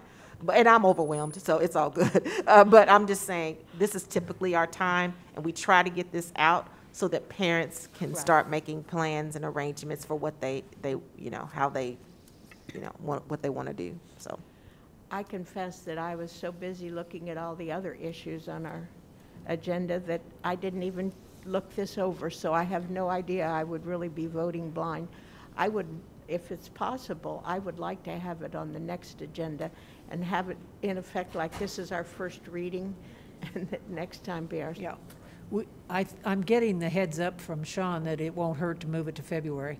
So what we can do is we can call this a first read, and it'll be final read and uh, acceptance or rejection next time. If you see, as you have a chance to look through this calendar, anything that you want to think we need to know about, would you please notify the superintendent? Then she can get that information out to the calendar committee and to us. Okay? Yes, Stan? Stan Reeser, District Four. Uh, We could also, are- we are also having a meeting on January 25th, aren't we? That actually has been canceled. That's when, ha- we have canceled that one? Yes. Okay. I was going to be announcing that later, but yes, that, uh, uh, there's really not a need for it, and if this can wait till February, then we'll do that. Sounds good. Okay, next item. Under Finance, none submitted. Miscellaneous, Superintendent's Report. I have none. Okay, next item. Board of Education Report Requests. Do you have anything, Ernestine? None. Julie? None. The only thing I want to do is that the special BOE meeting that was scheduled for Monday, January the 25th, has been canceled unless something comes up that we need to reschedule it. But as of now, that is off of our calendar. Uh, Stan? Stan Reeser, District Four, no reports. Ben? Uh, Ben Blankley, District One. I just have a short, kind of cool thing. Um, since we ended, you know, we had winter break here. Um, my my five-year-old's uh, school typically does a like all-school music program, um, and they still did this year, um, even though it was you know uh, everyone was remote. Um, so everybody dialed into the same uh, Teams presentation, and the music teacher was there, and the accompanist was there, and the and the school mascot was there, and and it was just a it was it was a really cool, uh, neat way of continuing uh, that kind of a tradition in a very uh, a weird circumstance. So uh, so thank you to uh, to my kids' school and not, and any of the other schools that that found ways to continue traditions during this difficult time. We have very creative teachers. Uh, Mike, do you have anything for board report and requests? I have no reports. Um, Ron, have you rejoined us? Yes, yes, sorry about that. Okay. Um, yeah, I just wanted to echo what, um, Mr. Polite, Mr. Reynolds said earlier, as, uh, proud product of Cloud Elementary and Horace Mann and North High. I really appreciate their input and everything they were saying earlier. Uh, but that's about it. Thank you. Uh-huh, thanks. Okay, next item. New business? I am seeing none. It- Do you, Ron or Mike, do you have any new business? I have none.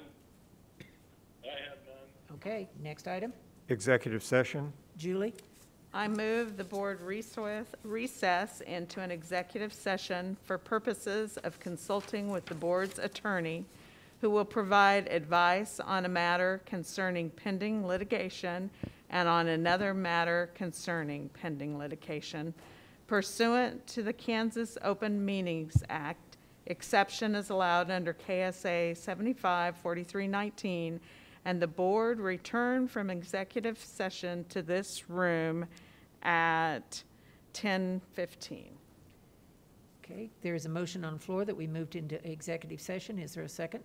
Ben Blankley, District One, I second. Okay, the motion was made by Julie Hedrick and seconded by Ben Blankley. Please cast your vote, starting with Ben. Ben Blankley, District One, yes. Stan Reeser, District Four, yes. Sheril Logan, uh, at large, yes. Julie Hedrick, District 2, yes. Ernestine Krehbiel, District Three, yes. Mike? Mike Rodee, District Five, yes. Uh, Ron? Ron Rosales, District Six, yes. Okay, and the two of you, you will be joining us remotely again with the speakerphone that's in the conference room. Okay? Thank you, and we, yeah, we, we are adjourned to, we are dismissed to executive session. I call the meeting back to order. The next item, Mike? Adjournment? Move to adjourn, Julie Hedrick, District 2. Stan Reeser, District Four, second. A motion was moved by Julie Hedrick, seconded by Stan Reeser, that we adjourn the meeting. Please cast your votes, starting with Ben. Ben Blankley, District One, yes. Stan Reeser, District Four, yes. Sheril Logan, at large, yes. Julie Hedrick, District 2, yes. The meeting is adjourned.